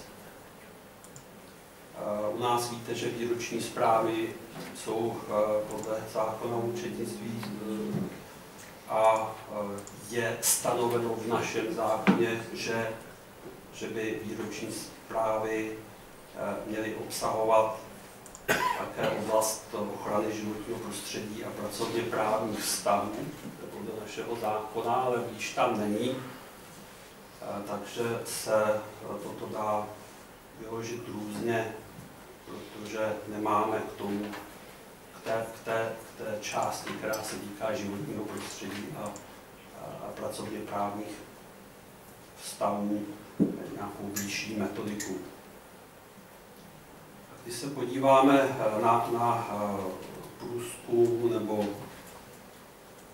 anketu, která byla provedena u 50 největších společností v roce 2012 v České republice, tak vlastní samostatnou zprávu o udržitelném rozvoji eh, z těch 50 eh, odpovědělo jenom 9 společností, že ji mají a z toho pouze čtyři uvádí odkaz na nějaký jasný rámec nebo metodiku. To znamená, tři z 50 našich společností eh, dělají reporting udržitelného rozvoje podle metodiky GRI. Eh, Škodovka, UVR eh, a Čechov. A jedna, jedna společnost ČES, ta provádí reporting podle metodiky LDG, která je zaměřená na investování.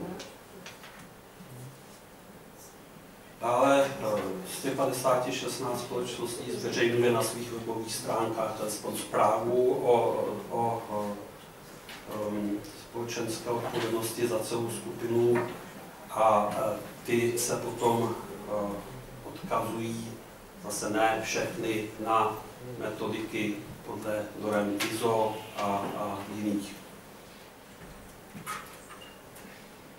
Takže u nás to není nějaké zvláštní zatím.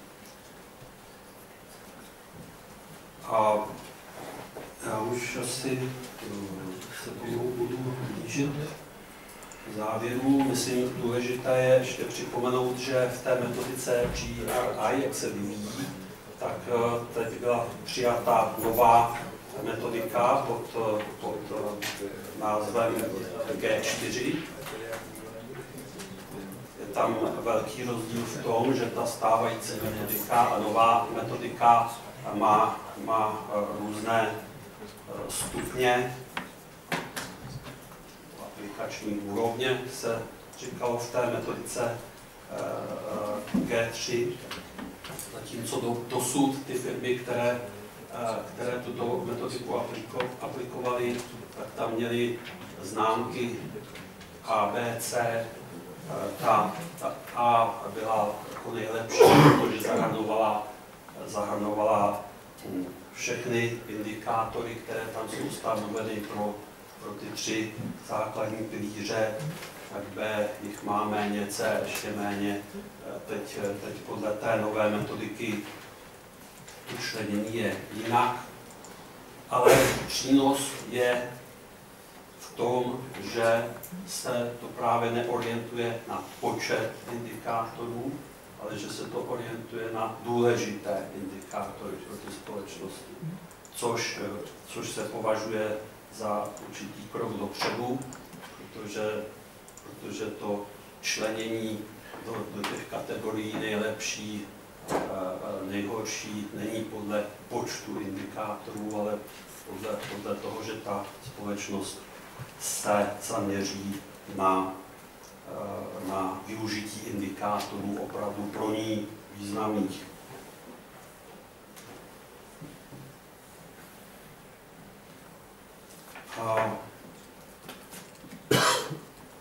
Možná k tomu integrovanému reportingu, jak už jsem říkal, že, eh, že to je nová věc, která byla schválena v prosinci loňského roku. Rámec, eh, rámec integrovaného reportingu probíhá, eh, probíhá pilotní ověření, které už probíhá teď druhým rokem, je tam přes 100 firm a přes 35 eh, investičních společností zapojených do eh, pilotního ověření, takže můžeme očekávat, že v tomto roce bude to pilotní ověření dokončeno a potom bude tato metodika už definitivně schválena. lze, lze nalézt na webových stránkách, eh, co obsahuje tato metodika. Poslední, poslední poznámka lze nalézt i v článcích a tisku takové polemiky eh, ohledně integrovaného reportingu a metodiky kolem GRI. Jestli to není zase něco izolovaného, do jaké míry to má eh, společné, tak, takže lze eh, tady u toho říct, že eh, ten integrovaný reporting využívá té struktury, která je daná metodikou GRI. Není to teda něco, co se vylučuje, ale co se doplňuje. A já jsem tam dal ještě poslední řádek čárky, protože úplně nejde eh, přesně předpovědět, co bude teď, dál. Já jsem řekl, že bude definitivně, eh, definitivně dokončena ta metodika integrovaného reportingu, měla by se vykrystalizovat v tomto roce. GRI má svoji novou metodiku G4, jak jsem řekl, a zřejmě do budoucnosti eh, v příštích nějakých několika letech se budou tyto metodiky zbližovat. A je otázka, co tedy u nás bude. Měli bychom z různých stran podpořit, aby naše podniky využívaly také reporting udržitelného rozvoje a jestli se to nepovede nám samým, tak zřejmě například ze strany zase Evropské komise nějakým způsobem budeme dotlačeni. Tady jsou ještě eh, kontakty na mě a na další eh, členy pracovní skupiny podnikatelské radě, kteří se, kteří se teď zabýváme intenzivně eh, reportingem udržitelného rozvoje. Děkuji. Takže já děkuji. Takže jsme skončili bohužel později, než jsme plánovali, ale bylo to tak zajímavé, že jsem se neodvážil nějak nikoho jako vlastně zastavit v jeho výkladu, protože to bylo skutečně hodně zajímavé. Bohužel takový je život, že čas je náš takový vyčerpatelný zdroj, bohužel. Já bych teď ještě předtím, než začneme diskutovat, poprosil, jestli by bylo možné, jestli s tím budou páni panelisté souhlasit, že bychom tyto vaše prezentace teda eh, použili to znamená poslali účastníkům, pokud se nám tam zapsali do, do listiny, nebo eh, zavěsit na naše webové stránky. A zároveň, jestli teda bude možné, my jsme celou tu věc jako nahráváme, jestli bude možné z toho prostě nechat tu nahrávku na našich webových stránkách. Ne, nevidím zatím, že by někdo protestoval, takže tím pádem vám děkuji moc za tuto možnost, protože tím pádem se to samozřejmě rozšíří zase daleko šířeji, protože my máme třeba i jenom členy, máme vlastně i z jiných oblastí než z Prahy, a ne všichni přijedou tak jako kolegové tamhle z Ústí, jak vidím. Přece jenom je to někde pro ně náročný a zvlášť potom večer třeba jet domů. A teďko bych teda začal tu diskuzi s tím, že e, pan profesor Mejstřík bude bohužel muset odcházet 7 hodin, takže směrujte první dotazy teda na něj, pokud máte. Já případně budu mít, a nebo to s ním potom vykonzultuju e-mailem, vy máte samozřejmě přednost. Honzo, já tě prosím, jenom vím, že ty jsi vždycky první, tak já bych poprosil teďko teda zatím ostatní, dostaneš se na to, neboj se. To bude zase GDP, asi tím to začne, ale tak. Eh, takže kdo má jiný než kolega Zeman, takže tam se hlásí pan kolega vzadu a potom vy, jo? Eh, po třech otázkách bude jako odpověď a pak budeme pokračovat. Ano. Já děkuji za slovo, pane Šelmene, a děkuji zároveň za organizaci debaty. Já jsem Petr Lebeda z Glopolisu, jenom abych se teda představil, bylo jasné, odkud foukám trh. Jsem moc rád, že jste uspořádali tuto debatu, i když by asi bylo lepší z ní udělat debaty čtyři, protože tam bude hrozně těžko se v tom zbývajícím čase nějak smysluplně vrátit vlastně k jakémukoliv z těch desítek témat, které tam, které tam zazněly. Pro mě byly všechny ty příspěvky obohacující a inspirativní, ale budu se soustředit na to první, protože panem profesorem Jistříkem asi budu muset spěchat na vlak do, do Břichovic a taky potřebuju zvednout kotvy v, v rozumnou dobu. Takže eh, chci říct, že bych eh, velmi podporoval to, aby se formát těchto debat stal eh, mnohem častějším, než je doposud. Protože si myslím, že, a už to tady zaznělo, i od Ivana Rendy, od profesora Mistříka trošku, jako si myslím implicitně, že nazrála doba k tomu, aby jsme prostě tohleto transdisciplinární sdílení praktikovali v trochu intenzivnějším a sofistikovanějším, že bych možná i strukturovanějším způsobem než doposud. Protože myslím, že jsme se do slepých větve dostali všichni, upřímně řečeno. A že nikdo z nás neví, kudy přesně z toho, z toho ven a jenom pokud dáme ty hlavy dohromady a zapomeneme trošku na ty uh, oborové přihrádky, ve kterých se normálně pohybujeme, tak si myslím, že můžeme, že můžeme vykročit z toho, z toho, z toho bludního kruhu. Uh, myslím si, že to vede, vede postupně k debatě o v takových těch jako přesahových disciplínách, jako je, jako je kultura, jako je filozofie, jako jsou hodnoty, na které tady prostě pořád narážíme a nebudeme z toho moc ucuknout. Jo? Nikdo na to asi nejsme úplně expert. Chci uh, formulovat tři klíčové otázky, které uh, na mě z toho vyplynuly a navrhnout, navrhnout vlastně ten způsob, jakým si myslím, že by se to mohlo výjímat, protože to tady není na expertní debatu a já mám spoustu připomínek k tomu, co tady, co tady zaznělo, ale není na to čas, tak spíš na osobní názor. První klíčová debata podle mě je růst versus rozvoj.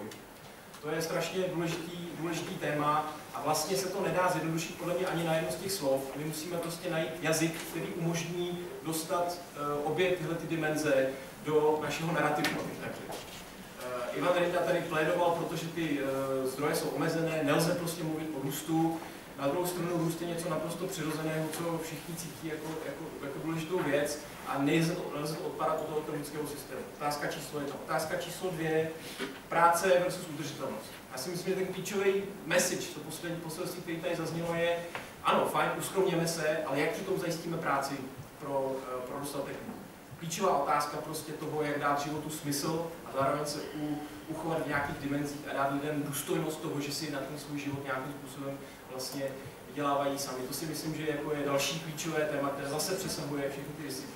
Třetí otázka, globální solidarita, ale jak se přitom nepředlužit. Eh, tady na, na, narážím vlastně na, na to, co říkal profesor Mistřík o, o tom, jak mezinárodní obchod pomáhá zvedat lidi z chudoby.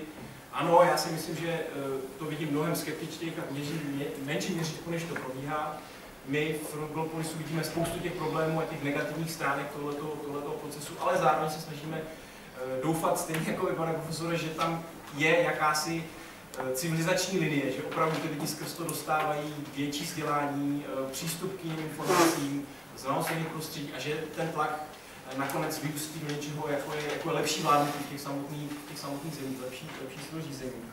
Ale jak dlouhodobě e, vlastně pomáhat těm chudým zemím k tomu, aby se vymanili z té vlastní chudoby, naší spotřebou, přitom ji zároveň e, omezovat, dostávat ji do linie s tou udržitelností a ještě se přitom nezadlužovat, to fakt nevím.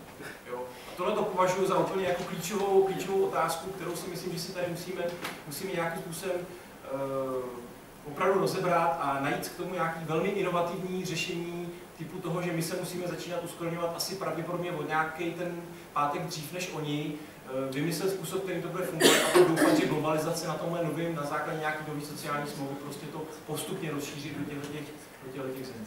Děkuji. Takže děkuji, to byly zásadní otázky. Druhý byl tady pan kolega a potom vy, jo? Já mám na pana profesora Mejstříka.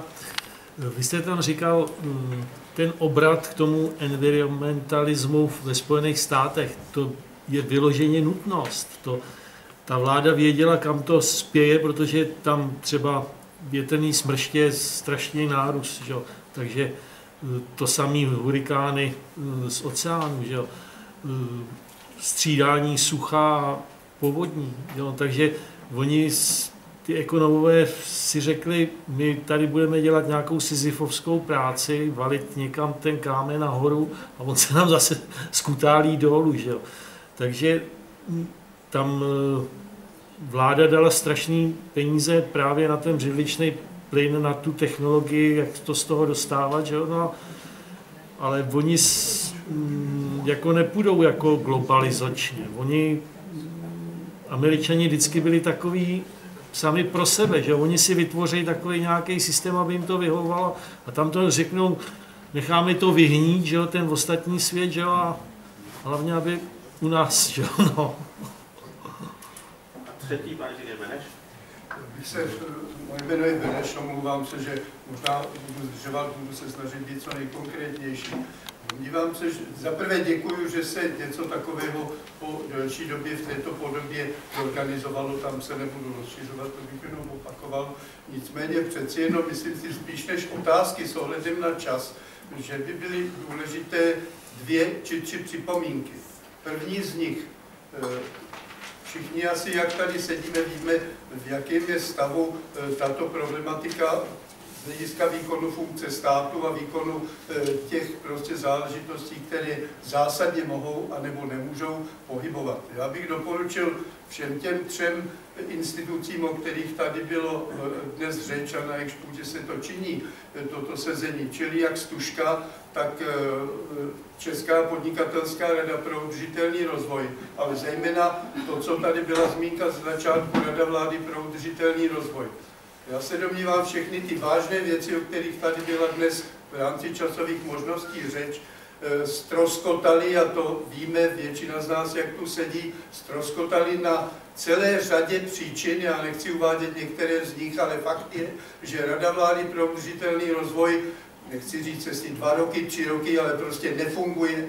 A jeden z důvodů, jak já ho vidím a můžu se plec, a prosil bych, eh, jak eh, pana Mejstříka, tak eh, pana inženýra Kalaše, pokud můžeme ovlivnit to, kam sekretariát Rady vlády pro udržitelný rozvoj bude umístěna, kde bude fungovat, vidím, že jeden, jedna z velkých chyb, byl jistě k tomu důvody, předseda Topolánek v té době minister životního prostředí nějaký, ale jakmile se přestěhoval sekretariát Rady vlády pro udržitelný rozvoj eh, z úřadu předsednictva vlády Ministerstvo životního prostředí, velká část lidí na vyšších úrovních, pro které udržitelnost, ať už růst nebo rozvoj, ale udržitelnost je především zájem environmentální, to je věc ministra životního prostředí a nás to nezajímá. Já jsem stoprocentně přesvědčen o tom, taky už jsem rozeslal po volbách nějaké dopisy, kde jsem myslel, že se ujmou, uvidíme,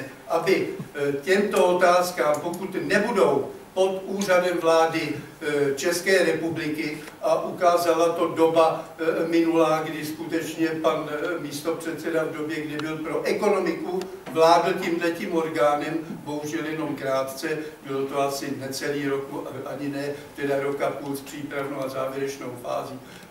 Čili toto, moc bych prosil, jak pana kolegu Mejstříka, tak Kalaše, udělejme všechno pro to, pokud to zhledáme za vážnou věc, aby fungoval sekretariát Rady vlády pro udržitelný rozvoj, pokud se tak bude jmenovat, jestli to nebude něco, aby fungoval, aby byl zřízen a aby fungoval přímo pod předsednictvem eh, vlády se všemi dopady do ekonomiky, prostě do těch třech pilířů, jak jsme zvyklí říkat, a aby to nebylo vnímáno. To je věc první. Druhá připomínka je otázka, já už jsem o tom také hovořil na jednom z posledních sezení, kde vystupoval eh, pan Žil Kalaš. Ano, já si nesmírně cením toho a jsem už starší člověk, takže si myslím, mám na to právo si něčeho cenit víc a něčeho míň, že Česká podnikatelská rada se znovu eh, zaktivizovala, dostala se do té polohy, v které je, ale myslím si, že by nesmírně prospělo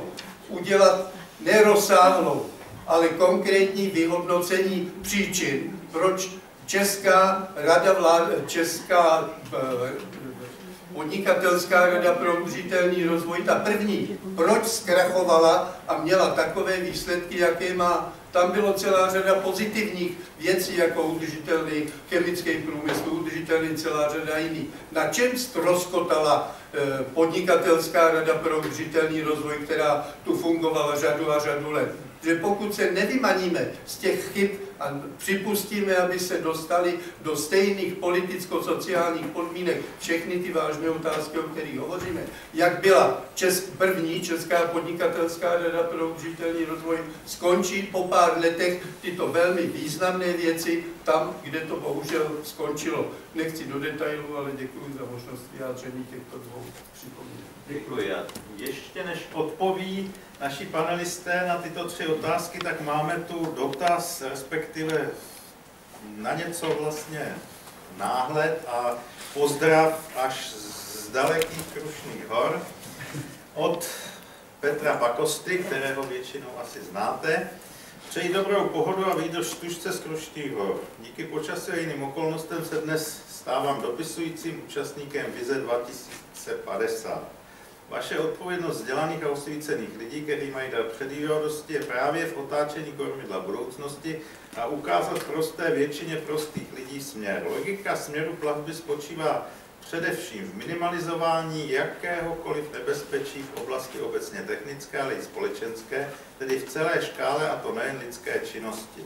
Přepočítávání duševních a nemateriálních hodnot na výnosné a nevýnosné je evidentní zvrhlost, vykřičník. Usnadněním v tomto směru nápravy je nekompromisní vizi atomizování činnosti. Lépe řečeno rozptýlení megalomanských celků, ale i komunit. To jasně reflektuje na minimalizování nebezpečí, které nelze bez zbytku vždy dosáhnout. A to se dotýká nejen oblasti všech technologií, ale i společenských oblastí. Pokusme se o nástěn možného již teď s předpokladem dosáhnout alespoň v roce 2050 cíle této vize vykřiční. Děkuji za trpělivost i předčítajícímu Petr Pakosta z hory svaté Kateriny a Brandýsa nad Orlicí. Takže to je ještě taky určitý podnět a já bych poprosil, jestli by naši panelisté, nejvíc asi na pana profesora Mistříka, protože ten nám za chvíli odejde, potom samozřejmě pan inženýr Kalaš asi se k tomu vyjádří. Mám tady ještě nějakou jinou další diskuzi, to už je dneska do třetice všeho dobrého. Jo. Už jsem vám tady avizoval, eh, že jsem ráno seděl zase ohledně právě IT a mobility a nových prostředků, ale nicméně já jenom chci připomenout to, co tady zaznělo, CSR, jo. Eh, já jsem dokonce byl s kolegou Sedláčkem a Špicerem jeden z prvních, co jsme na to dělali analýzy v České republice a doporučovali jsme to použití podniků. Takže, Společenská odpovědnost firem, abyste věděli. Tak, jo. Takže jakoby z tohoto hlediska, dokonce teď nedávno s, panem koleg, s oběma pány kolegy, panem Kalešem, jsme měli prostě eh, v souvislosti s dalšími firmami eh, podnětné debaty, takže jenom aby bylo známo moje stanovisko. Já si skutečně myslím, že to je důležité a jenom pro vaši představu, já dokonce jsem eh, vždy byl příznivcem právě z hlediska třeba sociální, jaksi, sociálního smíru ve firmách, toho, co se teď dočasně odstranilo, já si myslím, že se to vrátí, to je třeba přítomnost zaměstnanců v orgánech společností, jo. protože třeba v Německu Německo tomu? právě díky tomu Midwestimu, které tam mají, kdy všichni pochopili, že svůj plat si mohou zvýšit pouze tehdy, když zroste jejich inovativnost, produktivita práce, tak to vede k tomu, že oni jsou jakoby v určité situaci win-win solution, ano, a kdy vlastně ty eh, zájmy v jedno cházejí a ku podivu pro mnohé si nechtějí zvyšovat nadměrně svůj plat, protože eh, se obávají toho, že by o tu práci přišli. Ano. To, to je věc, která v žádné jiné zemi v Evropě nikde jinde takhle není silně vnímána, ačkoliv tam to Midwestimuk nemají. Ano. Takže to je zajímavá taková souvislost, které si mnozí nepovšimli. Ale teď zpátky k těm otázkám. Já naprosto souhlasím. Já jsem právě zmínil, eh, že ty otázky eh, prostě napětí mezi ekonomickým rozvojem eh, úzce vnímaným a vlastně nějakým udržitelným rozvojem mě zajímají už celá desetiletí. Ale to, co tady jako pan kolega Lebera taky zmiňoval, prostě jak se vymaní z pasti chudoby svou spotřebu a přitom se nezadlužovat, no tam jde o to eh, opravdu hledat nějakou smysluplnou dělbu práce, ale prostě pro mě představa, že bych odepřel zemím třetího světa eh, svůj trh, já toto považuji skutečně z mého hlediska za morálně naprosto neudržitelné. A konec konců, eh, právě jak jsme tam viděli, ten trh, eh, on, on vlastně roste i bez nás už teď. Jo. Takže eh, my se můžeme nakonec ocitnout na okraji toho rozvoje, pokud se jako budeme tvářit, že můžeme vytvořit ostrov, totální ostrov. Já jsem pro smysluplný ostrov, třeba energetický a tak dále, pokud je to třeba, já nevím, ekologické vytápění domů a podobně do určité míry, ale, ale prostě eh, nemyslím si, že bychom se měli odstřihnout od zbytku světa a dělat a myslet si, že eh, prostě necháme ty ostatní lidi zahynout. Jo? Právě to sdílení eh, vlastně těch předností, benefitů a i těch nákladů, v tom je solidarita. A nikoliv... Prosím, ta otázka byla, kdo nám bude platit to, že budeme spotřebovat jejich vývozy. No ne, tak my zase můžeme, eh, eh, tam ta společná dělba práce je, že každý dělá to, co nejlépe umí, ano. A e, tudíž jako v tuto chvíli, já neříkám, že to tak bude vždycky, jsem uváděl ten případ té pažitky, ano, ale já vám třeba říkám z našeho hlediska, když, přijíždí, když do Etiopie přijíždí ti čeští dodavatelé, kteří tam přijíždějí s českými nedávnými absolventy středních technických škol, tak najednou zjistíte, že ti, co tam pracují za, za 3 dolary za den, tak uh, umí všichni anglicky, protože chodí ve frontách do školy tam a zpět, to na, na, na, těch uh, cestách je potkáte, jaká, jaká je tam obrovská touha po vzdělání, ano. Uh, oni mají vlastní jazyk a vedle toho se to angličtinu ještě učí, aby se byli schopni mezi sebou dorozumět mnohdy s těmi vzdálenými místy, že jo. Takže tam se potkáváte, oni běžně chodí 70 km do školy na dopolední a odpolední vyučování. To, to je prostě, rozumíte, to, je, to jsou dojemné scény, No a pak tam přijedou eh, nedávní absolventi technických škol a on si neumí ani, on jim nemů, musí mít tlumočníka, že jim nemůže vysvětlit, jak se řekne šroubovák anglicky. A přichází z takové vyspělé země, jako je Česká republika. A když potom říkáte těm firmám, prosím vás, podívejte se, tady jsou takovéto příležitosti, spolupráce vzájemně výhodné, tak oni vám řeknou, no, ti naši absolventi, které máme k dispozici, naprosto nesplňují kritéria, které bychom měli. My je tam nemůžeme poslat, protože eh, ve chvíli, kdy jim dám tlumočníka, tak co ten tlumočník tam celé dny bude dělat, jo? A, víte, a to je dluh na naší straně, ne na jejich straně. Ano? A pokud, eh, eh, pokud si toto včas neuvědomíme, tak my se dostaneme na okraj společnosti přes všechny vznešené teze, které tady jakoby tvrdíme. Jo? Takže to je ten, tam, já myslím, že jim máme co dát a oni nám také mají co dát. Příště to bude něco jiného. Jo? Takže to je, to je ten moment. No a co se týče e, Spojených států, prostě Spojené státy v tuto chvíli se vydali izolacionistickou cestou. A říkám, pro někoho e, bolestnou, já jsem si přesně vědom eh, toho, že ty oblasti, které oni opouštějí, tak eh, prostě zrovna příštích letech nebudou, ale já nevím, jestli jste někteří z vás viděli těžbu ropy třeba na, v oblasti Vychalovců a podobně a to je ještě mnohem, mnohem horší než to je, to je tak zdevastované a tak dále. Takže to, a nemusí to být jenom Eh, fosilní paliva, jo? když eh, vidíte ty zmíněné případy eh, těch nekonečných vlastně čínských solárních panelů, které vlastně na jedné straně podpořili čínský vývoz k nám, když jsme u toho a nás jako významně zadlužili. A, a ještě je budeme desítky let platit, tak to je skutečně velké selhání. A právě proti tak, a to se schvalovalo takovým způsobem, že tam vystoupila jedna paní poslankyně se s, s tím e, svým návrhem, ano, a řekla, že prostě eh, se bude snižovat cena panelu jenom o tolik, protože ona to ví, jako, že ne o více než 5%.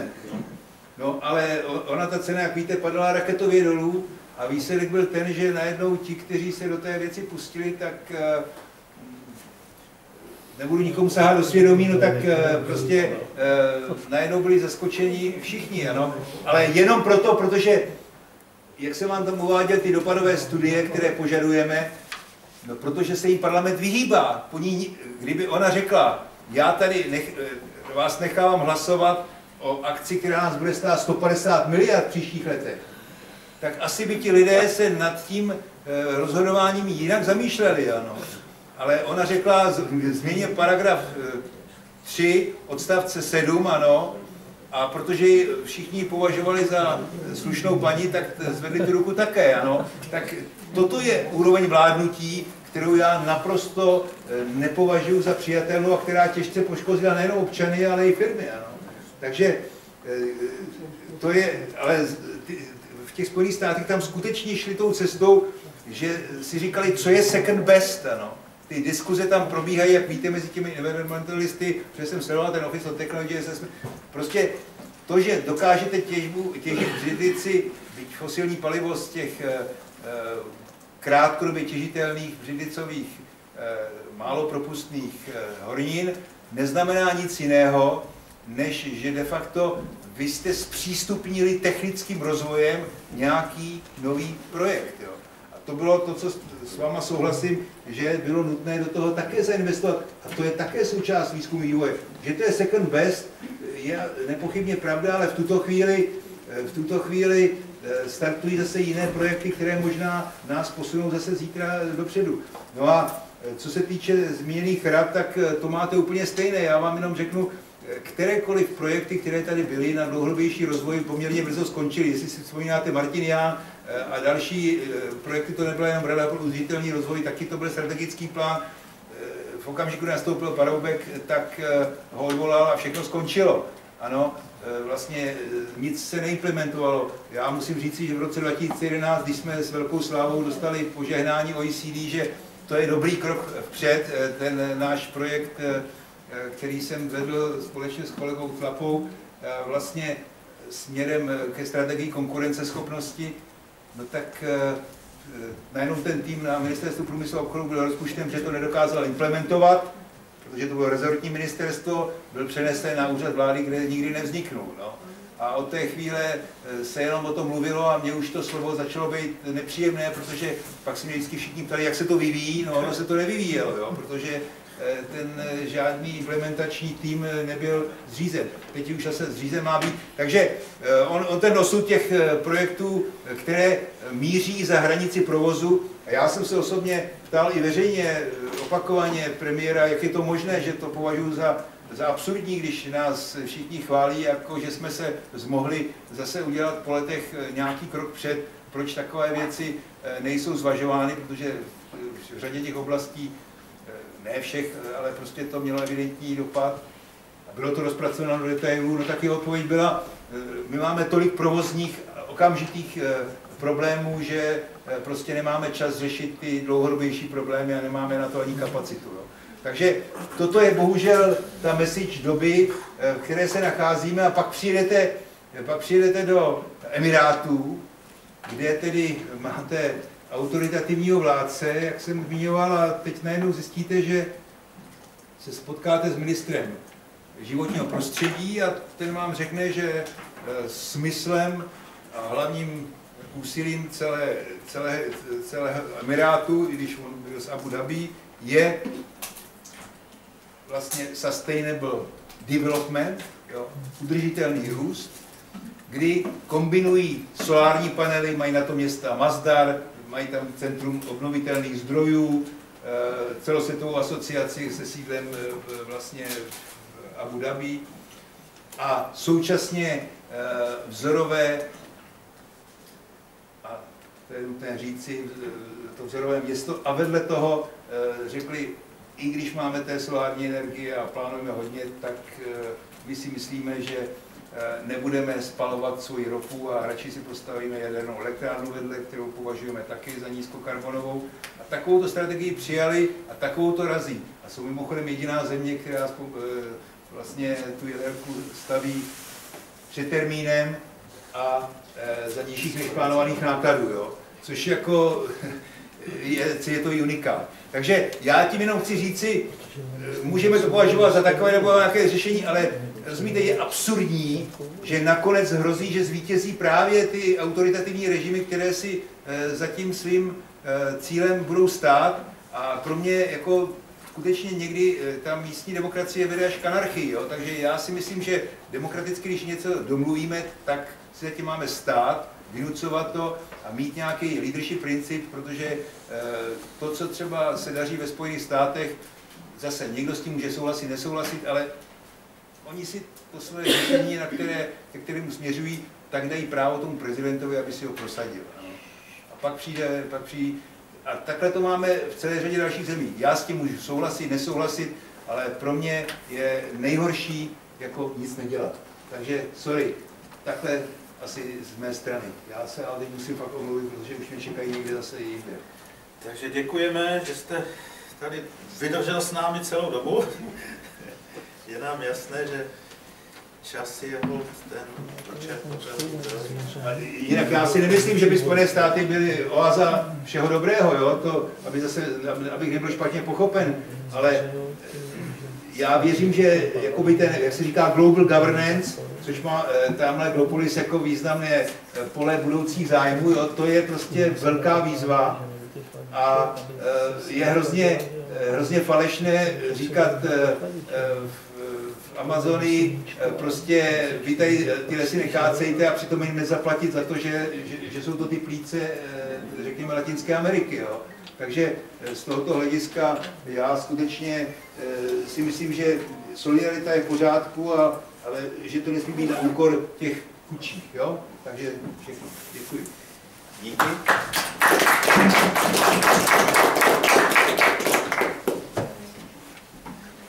No a nyní přikročíme k dalším otázkám. A jo, ještě pan, ano, pan inženýr Kalaš vlastně. Já budu jenom krátký k panu Lebedovi. Eh, plně souhlasím, že tato diskuze, která tady zkrátka začala, by měla být opakovaná a bude. Eh, my připravujeme, já už jsem se o tom tady zmínil, kulatý v Senátu někdy v březnu. Eh, rádi bychom, a to bude otázka i k té radě vlády, chtěli bychom obnovit fórum, každoroční setkání, které by rada vlády organizovala chceme udělat konferenci, která by byla, řekl bych, eh, jenom tematická na udržitelnost v rámci širší, širší, širší v rámci této země. Eh, to, že to mě vede k vysvětlení rady vlády. Je to projekt, který potřebuje samozřejmě eh, velkou pozornost. My, my obnovení té rady tu pozornost dáváme několika způsoby. Jednak jsme ji zachránili tím, že za vlády premiéra Topolánka měla být zrušena, tak řekl bych to řešení na ministerstvu životního prostředí, jakkoliv je nefunkční, tak bylo záchranou. A snaha je opravdu to dostat zpátky na úřad vlády, s tím plně souhlasíme a kroky k tomu děláme. Ehm, ta rada vlády eh, a její funkčnost, eh, ona má 24 členů, řekl bych, většina čeká, že bude svolaná, že bude funkční. A ty naše kroky jsou následující. A já o tom hovořím s novým ministrem životního prostředí, který eh, se eh, k principu udržitelnosti tváří s pochopením a s podporou. přičemž se vymezuje proti extrému, bych zleva i zprava, to znamená, je to racionální pohled, který zkrátka podle jeho představy o životním prostředí patří k takovému balancovanému postoji tohoto ministerstva. Když jsme navázali spolupráci už asi před půl rokem na úrovni doktora Špidly a posléze i s místopředsedkyní Gajduškovou, s profesorkou Sikovou, a dohoda je taková, že připravujeme kulatý stůl Senátu, abychom pozvedli tu úroveň a princip udržitelnosti na úroveň těch politiků. Takže tohle je to, řekl bych, tato věc. Zdá se, že, ten, že ta odezva na úrovni e, teďka hlavního poradce na úřadu vlády je velmi pozitivní, takže čekáme, že ten, ten impuls zazní u premiéra a ten sekretariát, že přijde tam. Ale my bychom chtěli to spojit samozřejmě i s tím fórem a i s pracovní náplní té rady, tam měla několik skupin tak dále. Takže aby to nebylo jenom nominálně, že rada znovu vznikne nebo se znova eh, vzkřísí, ale aby měla i náplň. Eh, ty náplně jsou nejenom, teďka bych řekl, možná revize toho rámcové, eh, rámcové strategie, ale my tady máme i akční program, který byl připravený, který vláda ignorovala, to znamená je někde v zásupce na ministerstvu místního rozvoje, i to by stálo za to obnovit. To znamená, pohybuje se to tím směrem, možná, že bude to potřebovat pár týdnů nebo dva, tři měsíce, poněvadž ta vláda má jiné úkoly, ale je to na programu a my bychom chtěli aktivně k tomu přispět. Ten váš dopis, který tam je, doplňuje prakticky tohleto úsilí a my z té strany navazujeme. Já bych jenom doplnil, možná někdo nevíte, kdo nejste naši členové, my jsme jako STUŽ eh, spolu s dalšíma pěti organizacemi se obrátili na předsedy koaličních stran kde jsme je vyzvali k tomu, že je potřeba, aby se zase vrátili vlastně k té koncepci udržitelnosti.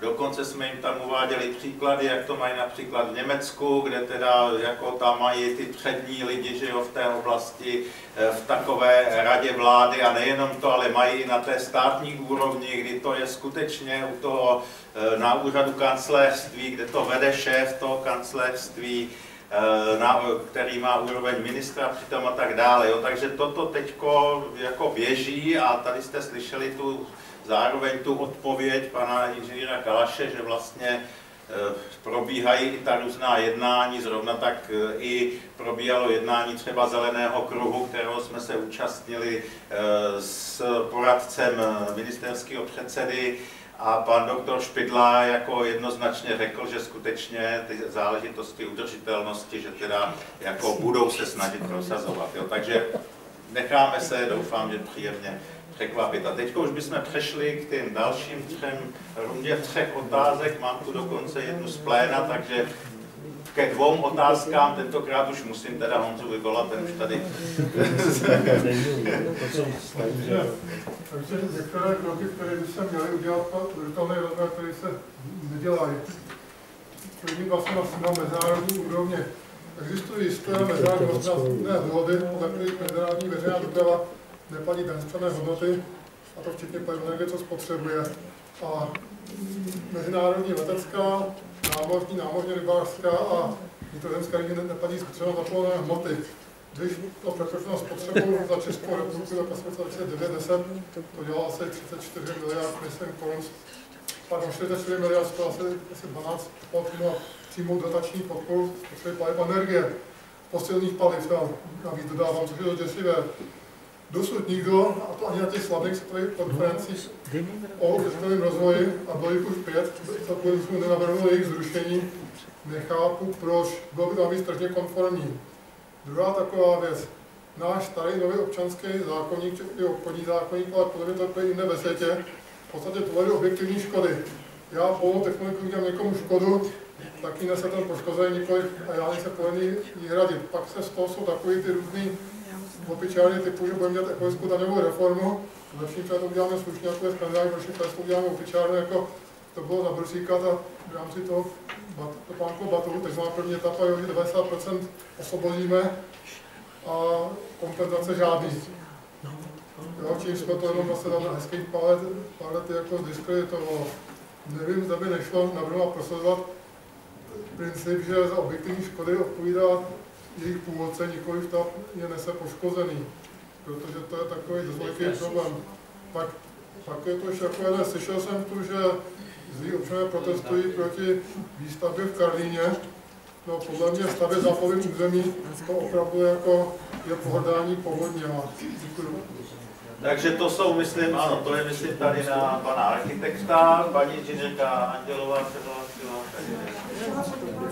Konferenci, protože my jsme se, vlastně si mohu říct tady, eh, domlouvali na tom, že by fakulta, nebo že by univerzita Jana Evangelisty Polkyně v Ústí uspořádala konferenci, která by byla právě tady k této vizi a k tomu udržitelnému rozvoji. Protože se domnívám, že se na různých fakultách setkáváme s tím, že jsou tam odborníci, kteří učí, když to tak řeknu, nebo se setkávají s tím udržitelným rozvojem, jak v Jižních Čechách, tak Mendelová univerzita v Brně.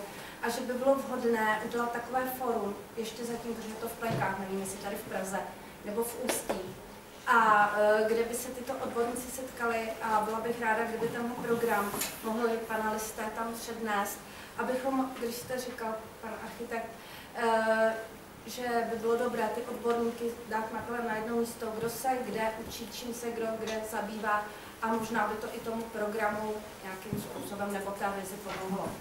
Jinak já jsem se vlastně k udržitelnému rozvoji dostala teď tím, že prostě na, učím integrovanou prevenci, ochranu tedy a ty dopady na životní prostředí. Takže tam se setkávám s technologiemi a přímo s tím průmyslem jako takovým, jak strojenským, chemickým. A vlastně Vysoká škola ekonomická má vytvořenou, vytvořenou určitou metodiku, která určitě jde ověřit a určitě, protože jsou to jako zatím v draftech, by mohla být i součástí tady toho reportingu, protože tam přece jenom vychází Jediná nevýhoda, vím, jaká tam je, ale to je prosím součástí mé práce, kterou dělám, takže potom asi to je trošku něčem jiném. Takže to nechci přijít na polivčičku, ale tady za to velmi děkuji a myslím si, že ta konference potom by mohla být paní profesorka a kolegové určitě tady neřekli, že s tím souhlasili. Děkuji, takže to je hodně taky na pana doktora Rindu například. Samozřejmě, já jsem brala jako součást, A poslední otázka tady, ano, je ohledně toho, my jsme měli v lednu tady klima a lidé, kde jsme diskutovali o té problematice ochrany klimatu a věděli jsme, že ta situace je v České republice zatím stále dost neradostná a takže je zde dotaz, zda prostě je toto úsilí Eh, propojeno vlastně úsilím podnikatelské rady eh, s tím úsilím vlastně v té oblasti ochrany klimatu, což myslím, vy jste tam měli, že jo, eh, v těch, v těch fousech jste měli to, ale je to prostě dotaz ohledně toho propojení a ještě jste to chtěla jak? Právě to, to byla moje prozba, no. aby to Pavel tlumočil a jedná se o tu hodnotící zprávu pátou mezivládního panelu IPCC, a prostě přípravy na další ty konference, které se budou konat v Limě a v Paříži, tak by mě zajímalo, jakým způsobem eh,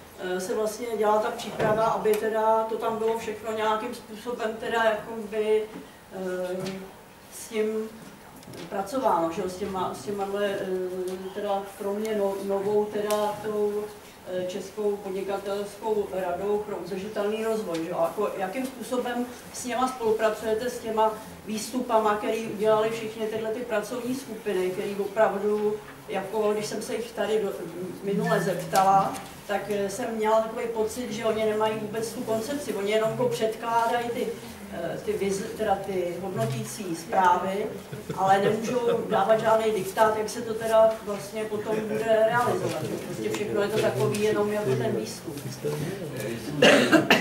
Takže teď, je, ano, teď máte už právo odpovědí.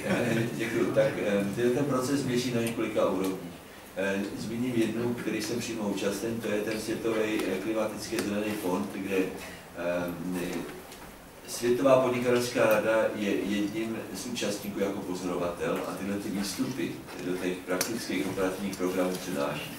Pokud se týče světové klimatické konference, tak Světová podnikatelská rada vůbec business není součástí, nebo jsou taky pozorovatele, čili ty výstupy jsou jenom nepřímý, anebo tu interpretaci, která s tímhle souvisí. V České republice tyto přípravy dělá Ministerstvo životního prostředí ve spolupráci s zahraničníma věcma, s Ministerstvem průmyslu a obchodu. Teďka probíhá diskuze přípravy na komisařku Miliardovou, která přijede koncem února do České republiky a bude mít eh, kontakt s naší vládou ohledně toho posledního energetického klimatického balíčku eh, Evropské komise.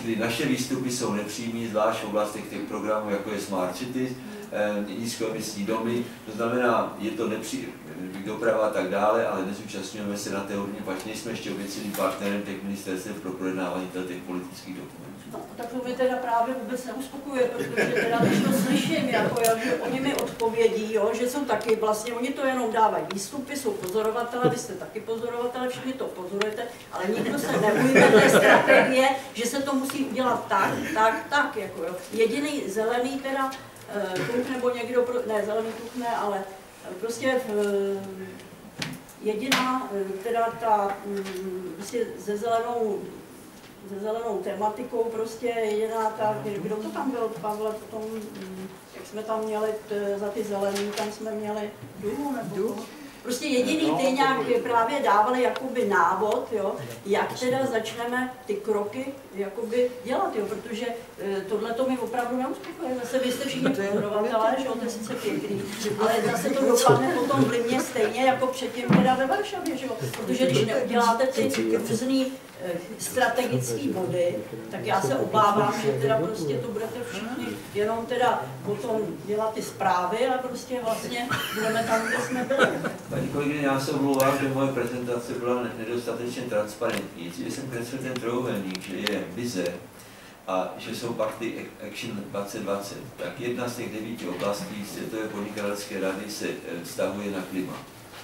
A z tohoto pohledu se Světová podnikatelská rada a regionální, a to znamená i my, budeme zabývat projekty, které tam mají přímo účinek. To znamená, to není otázka připravovat veřejné dokumenty, ale připravovat biznisové případy, abychom implementovali jednu z těch devíti priorit.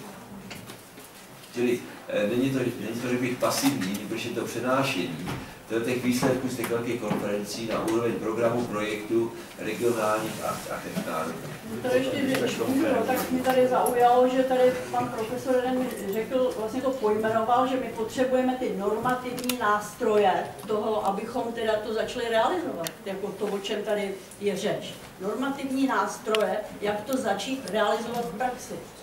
Normativní nástroje je například program mitigací a adaptací, který se připravuje teďka tím velkým zeleným fondem. Tam je asi 25 oblastí, který ten světový fond, jak jsem říkal, těch 100 miliard, se bude soustředovat na oblasti v rozvojovém světě. No, to znamená, to, to je těch 120 zemí, kterých se to týká. Eh, vy máte na mysli, co se děje v průmyslových zemích. Jinak eh, tady pan prezident eh, České eh, podnikatelské rady by k tomu chtěl taky říct, já si.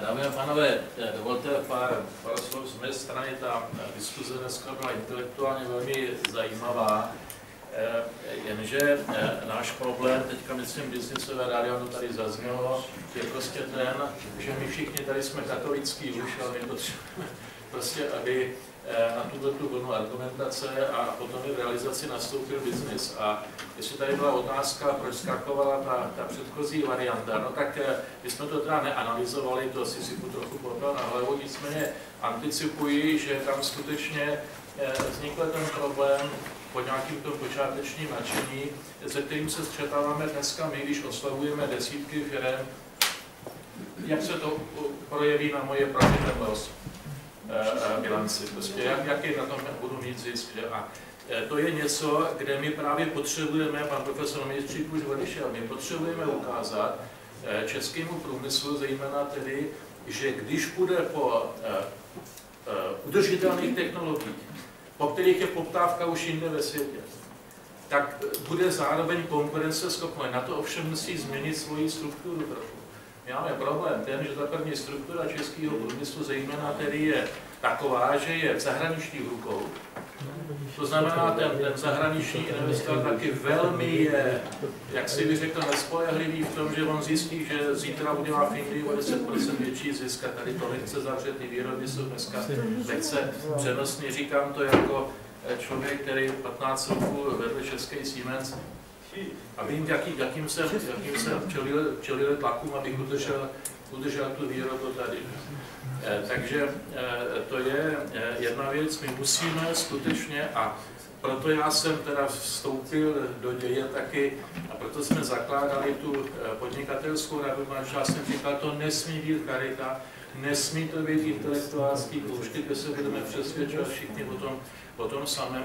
Musí to být prostě konkrétní business case. Musíme přinášet ze světa konkrétní business solution, jinak nám ty firmy na to nebudou. Pan Světlík z, z, z, tady, z Vítkovic slyšel především na tom, že my se budeme snažit pomáhat prostě jeho CNG, eh, CNG prostě eh, eh, plyn. Takže a, a tak je to dál. Jo. Čes podobně ty tuší, že prostě v tom, v tom světě jsou, jsou ty trendy někde jinde než u nás. Ale my jsme dneska tu diskuzi vedli s čtvrtě především o tom, co se děje ve světě. Si myslím, že bychom to měli zopakovat, abychom se opravdu podívali, co je tady u nás. I do toho parlamentu bych rád vzal seznam těch firm, které ne, ne, nemají svoje CSR zprávy a tak dále. Mimochodem i to CSR u nás se zvrhlo na, já tomu říkám, fíkový list, protože ty firmy si za pár promile zisku koupí jakýsi image. My jsme byli s Petrem Kalašem asi před rokem na nějakým takovým udělování cen za CSR, tam bylo 11 kategorií, těch 11 kategorií se všech 25 firm, které tam byly, jakoby nějak zrotovali Nakonec byl Raut, který byl asi pro trojnásobný počet lidí, se nedalo sníst prostě a, a tak dále. A dospěl jsem prostě k dojmu, a ta moderátorka to tak vedla, že to jste druzí, ale oni jste byli první přece, že jo, v té kategorii. že, že si tam prostě nějaký okruh firm zájemně uděluje ceny a tím to, tím to jakoby zaslo. Takže eh, já si myslím, že diskuze je fajn, zejména si cením a tam to musíme eh, tlačit podle mého názoru je interdisciplinární diskuze. Já prostě pořád se snažím ukazovat na obecnou poradu Jana Mose Komenského, který už tenkrát říká, prostě k té nápravě věcí lidských se musíme dopracovat tím, že, a nechci kritizovat nerv, ale to jsou ekonomové. My potřebujeme takových nervů víc, potřebujeme sociologický nějaký nerv a tak dále. Musíme ty lidi dostat dohromady. Jestli je, jestli je v NGOs ta síla prostě dostat jako opravdu ty, eh, ty lidi, kteří se o to zajímají, tyhle ty diskuzi, eh, tak to bude velmi účelný. My jsme z té podnikatelské rady, kde máme dneska tedy asi 16 eh, firm, máme 45 tisíc zaměstnanců v těch firmách, což je asi hezký, zejména díky tomu, že přistoupil ČES, ale potřebujeme tam těch firm 50-60 a už jsem psal po roce znova dopis na 40 firm, nabízením všem setkání, dělám všechno možné. Eh, teďka už se snažíme tlačit třeba, ne, že bychom tam chtěli jako ty eh, české pobočky zahraničních eh, firm, ale přece jenom je tam chceme aspoň z 50% taky mít, i když oni jsou katoličtější než ty české firmy, to je potřeba vidět.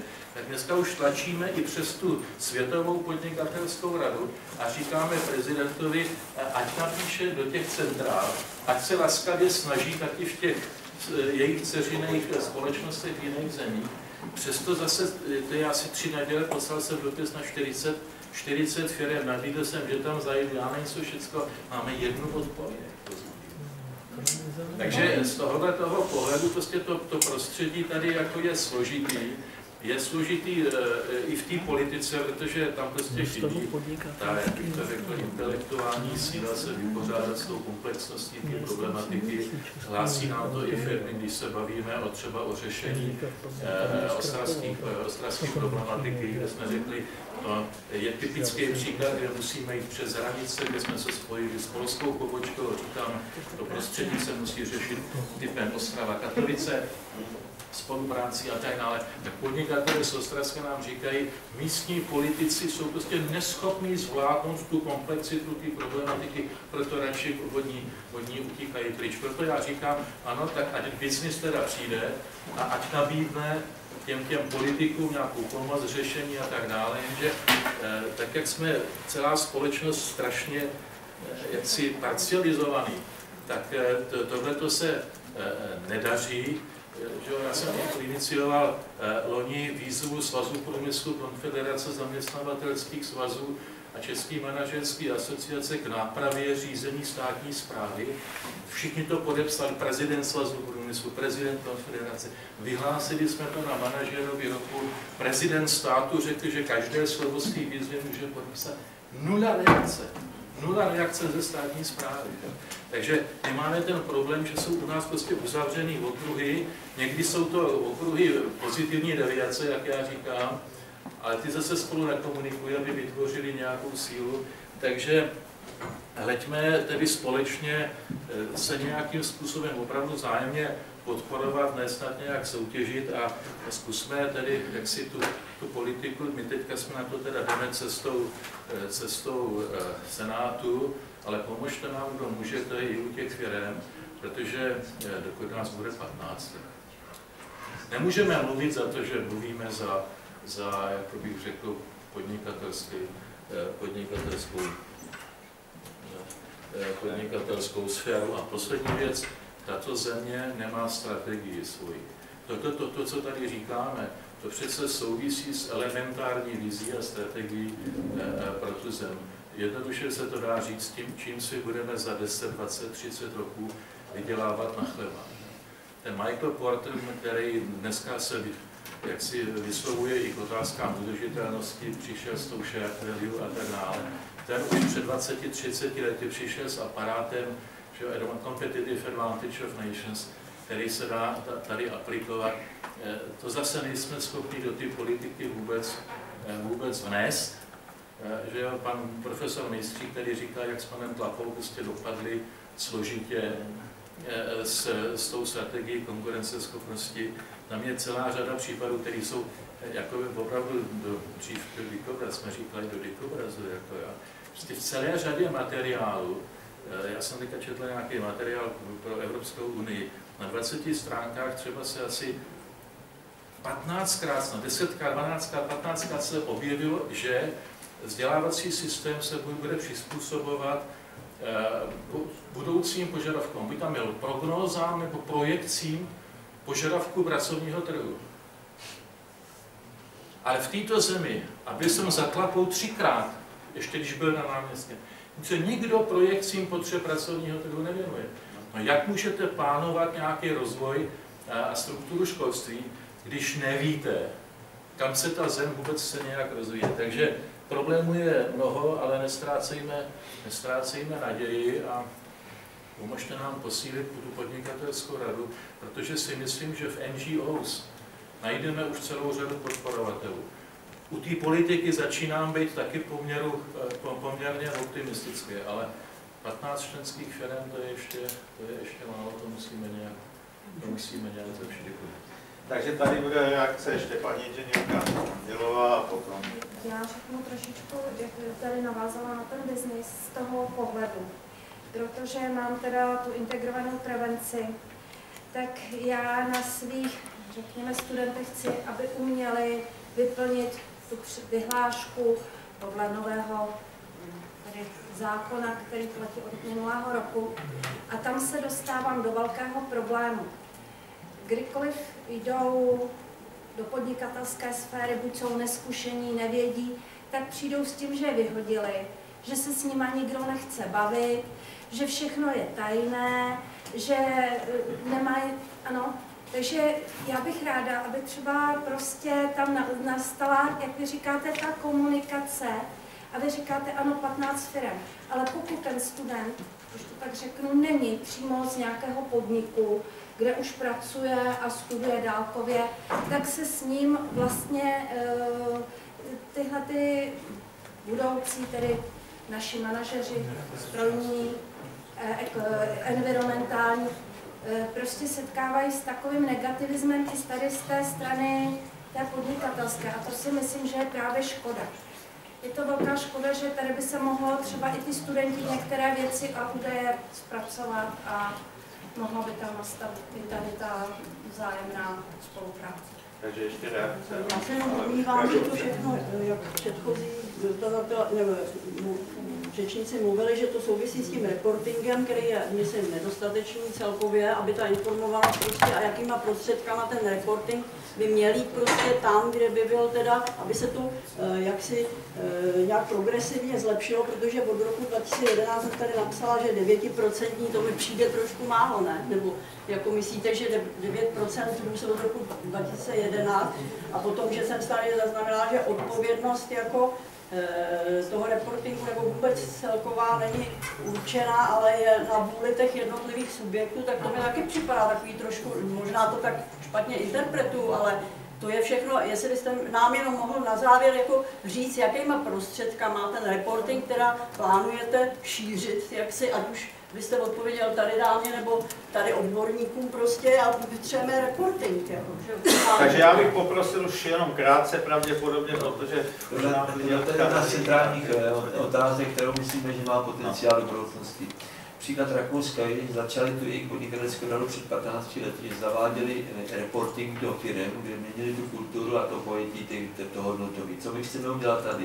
Po příkladu Česu, který teďka tady byl prezentovaný úspěšně minulý týden, připravujeme aplikaci pro české lesy. Další státní firma. Chtěl bychom udělat aplikaci pro dvě, tři další státní firmy a deklarovat to právě na tom v tom Senátu, že to je směr, kdy vláda bych měla pozvat všechny státem vlastněné firmy, aby přijali tenhle ten reporting jako příklad, řekněme, státem vedené firmy. A postupně to tou dobrovolností případně rozšířit i na další firmy. To je strategie, kterou máme před sebou, jsme na začátku vizualizaci reportingu, fotografie, a já to říkám dokola, protože aby tam nebyly jenom ty grafy, ale prostě trochu více jaksi názornosti i pro takový jako trošku neodborný třeba, aby tomu rozuměli, že? Takže já nechám panelistům, jestli chtějí nějaké poslední slovo říci, protože už nemáme moc času. Mě nevidí. Ježiš, tak to já se omlouvám, teda to strašně moc omlouvám. Já se omlouvám, teda, že jsem se musela ozvat. Já jsem teda za Českou asociaci pro udržitelný rozvoj, ale zároveň pracovní skupina místní agendy 21 Rady vlády. Zároveň pracuji v nevládkách a věnuju se spíš praxi v regionu a v obcích.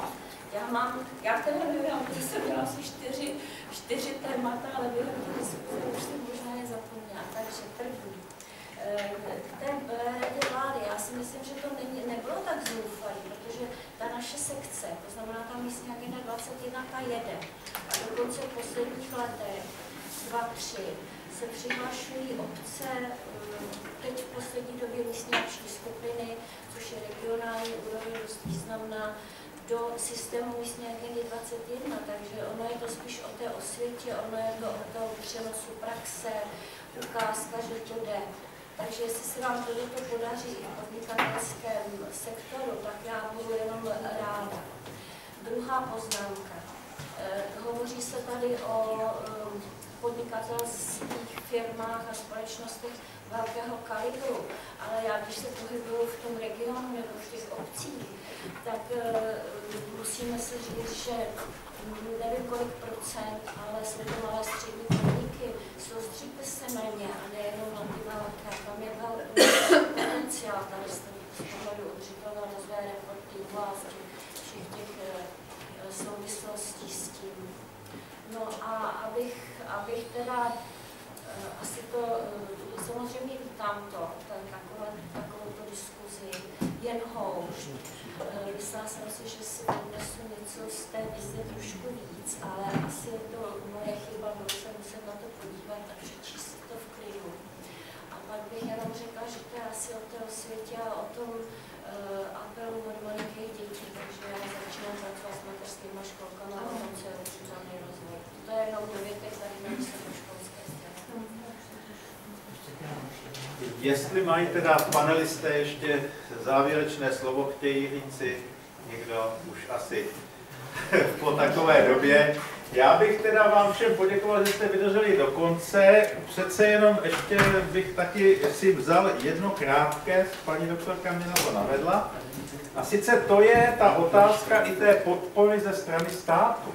Protože to, co vy říkáte, Vemte si ty místní agendy v okamžiku, kdy stát přes Ministerstvo životního prostředí, přes ten revolvingový fond dal těm městům byť minimální peníze, ale byly to peníze navíc, které měli právě na ten management vlastně toho, eh, té místní agendy pro 21. století.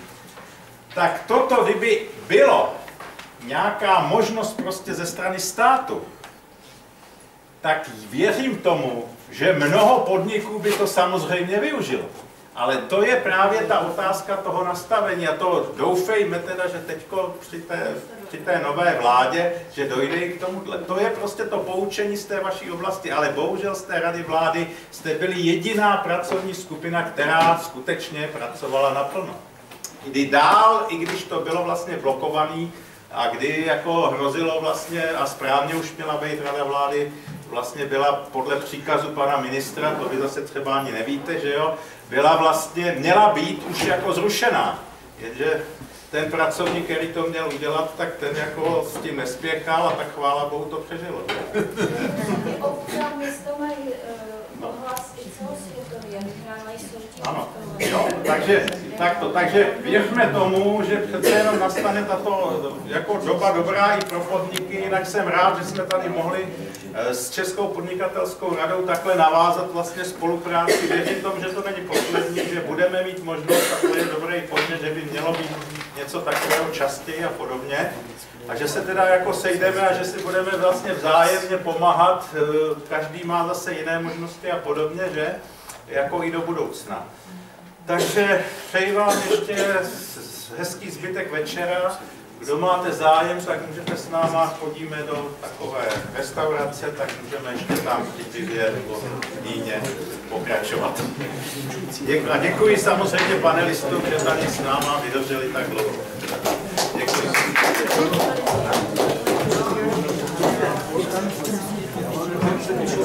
Prosím?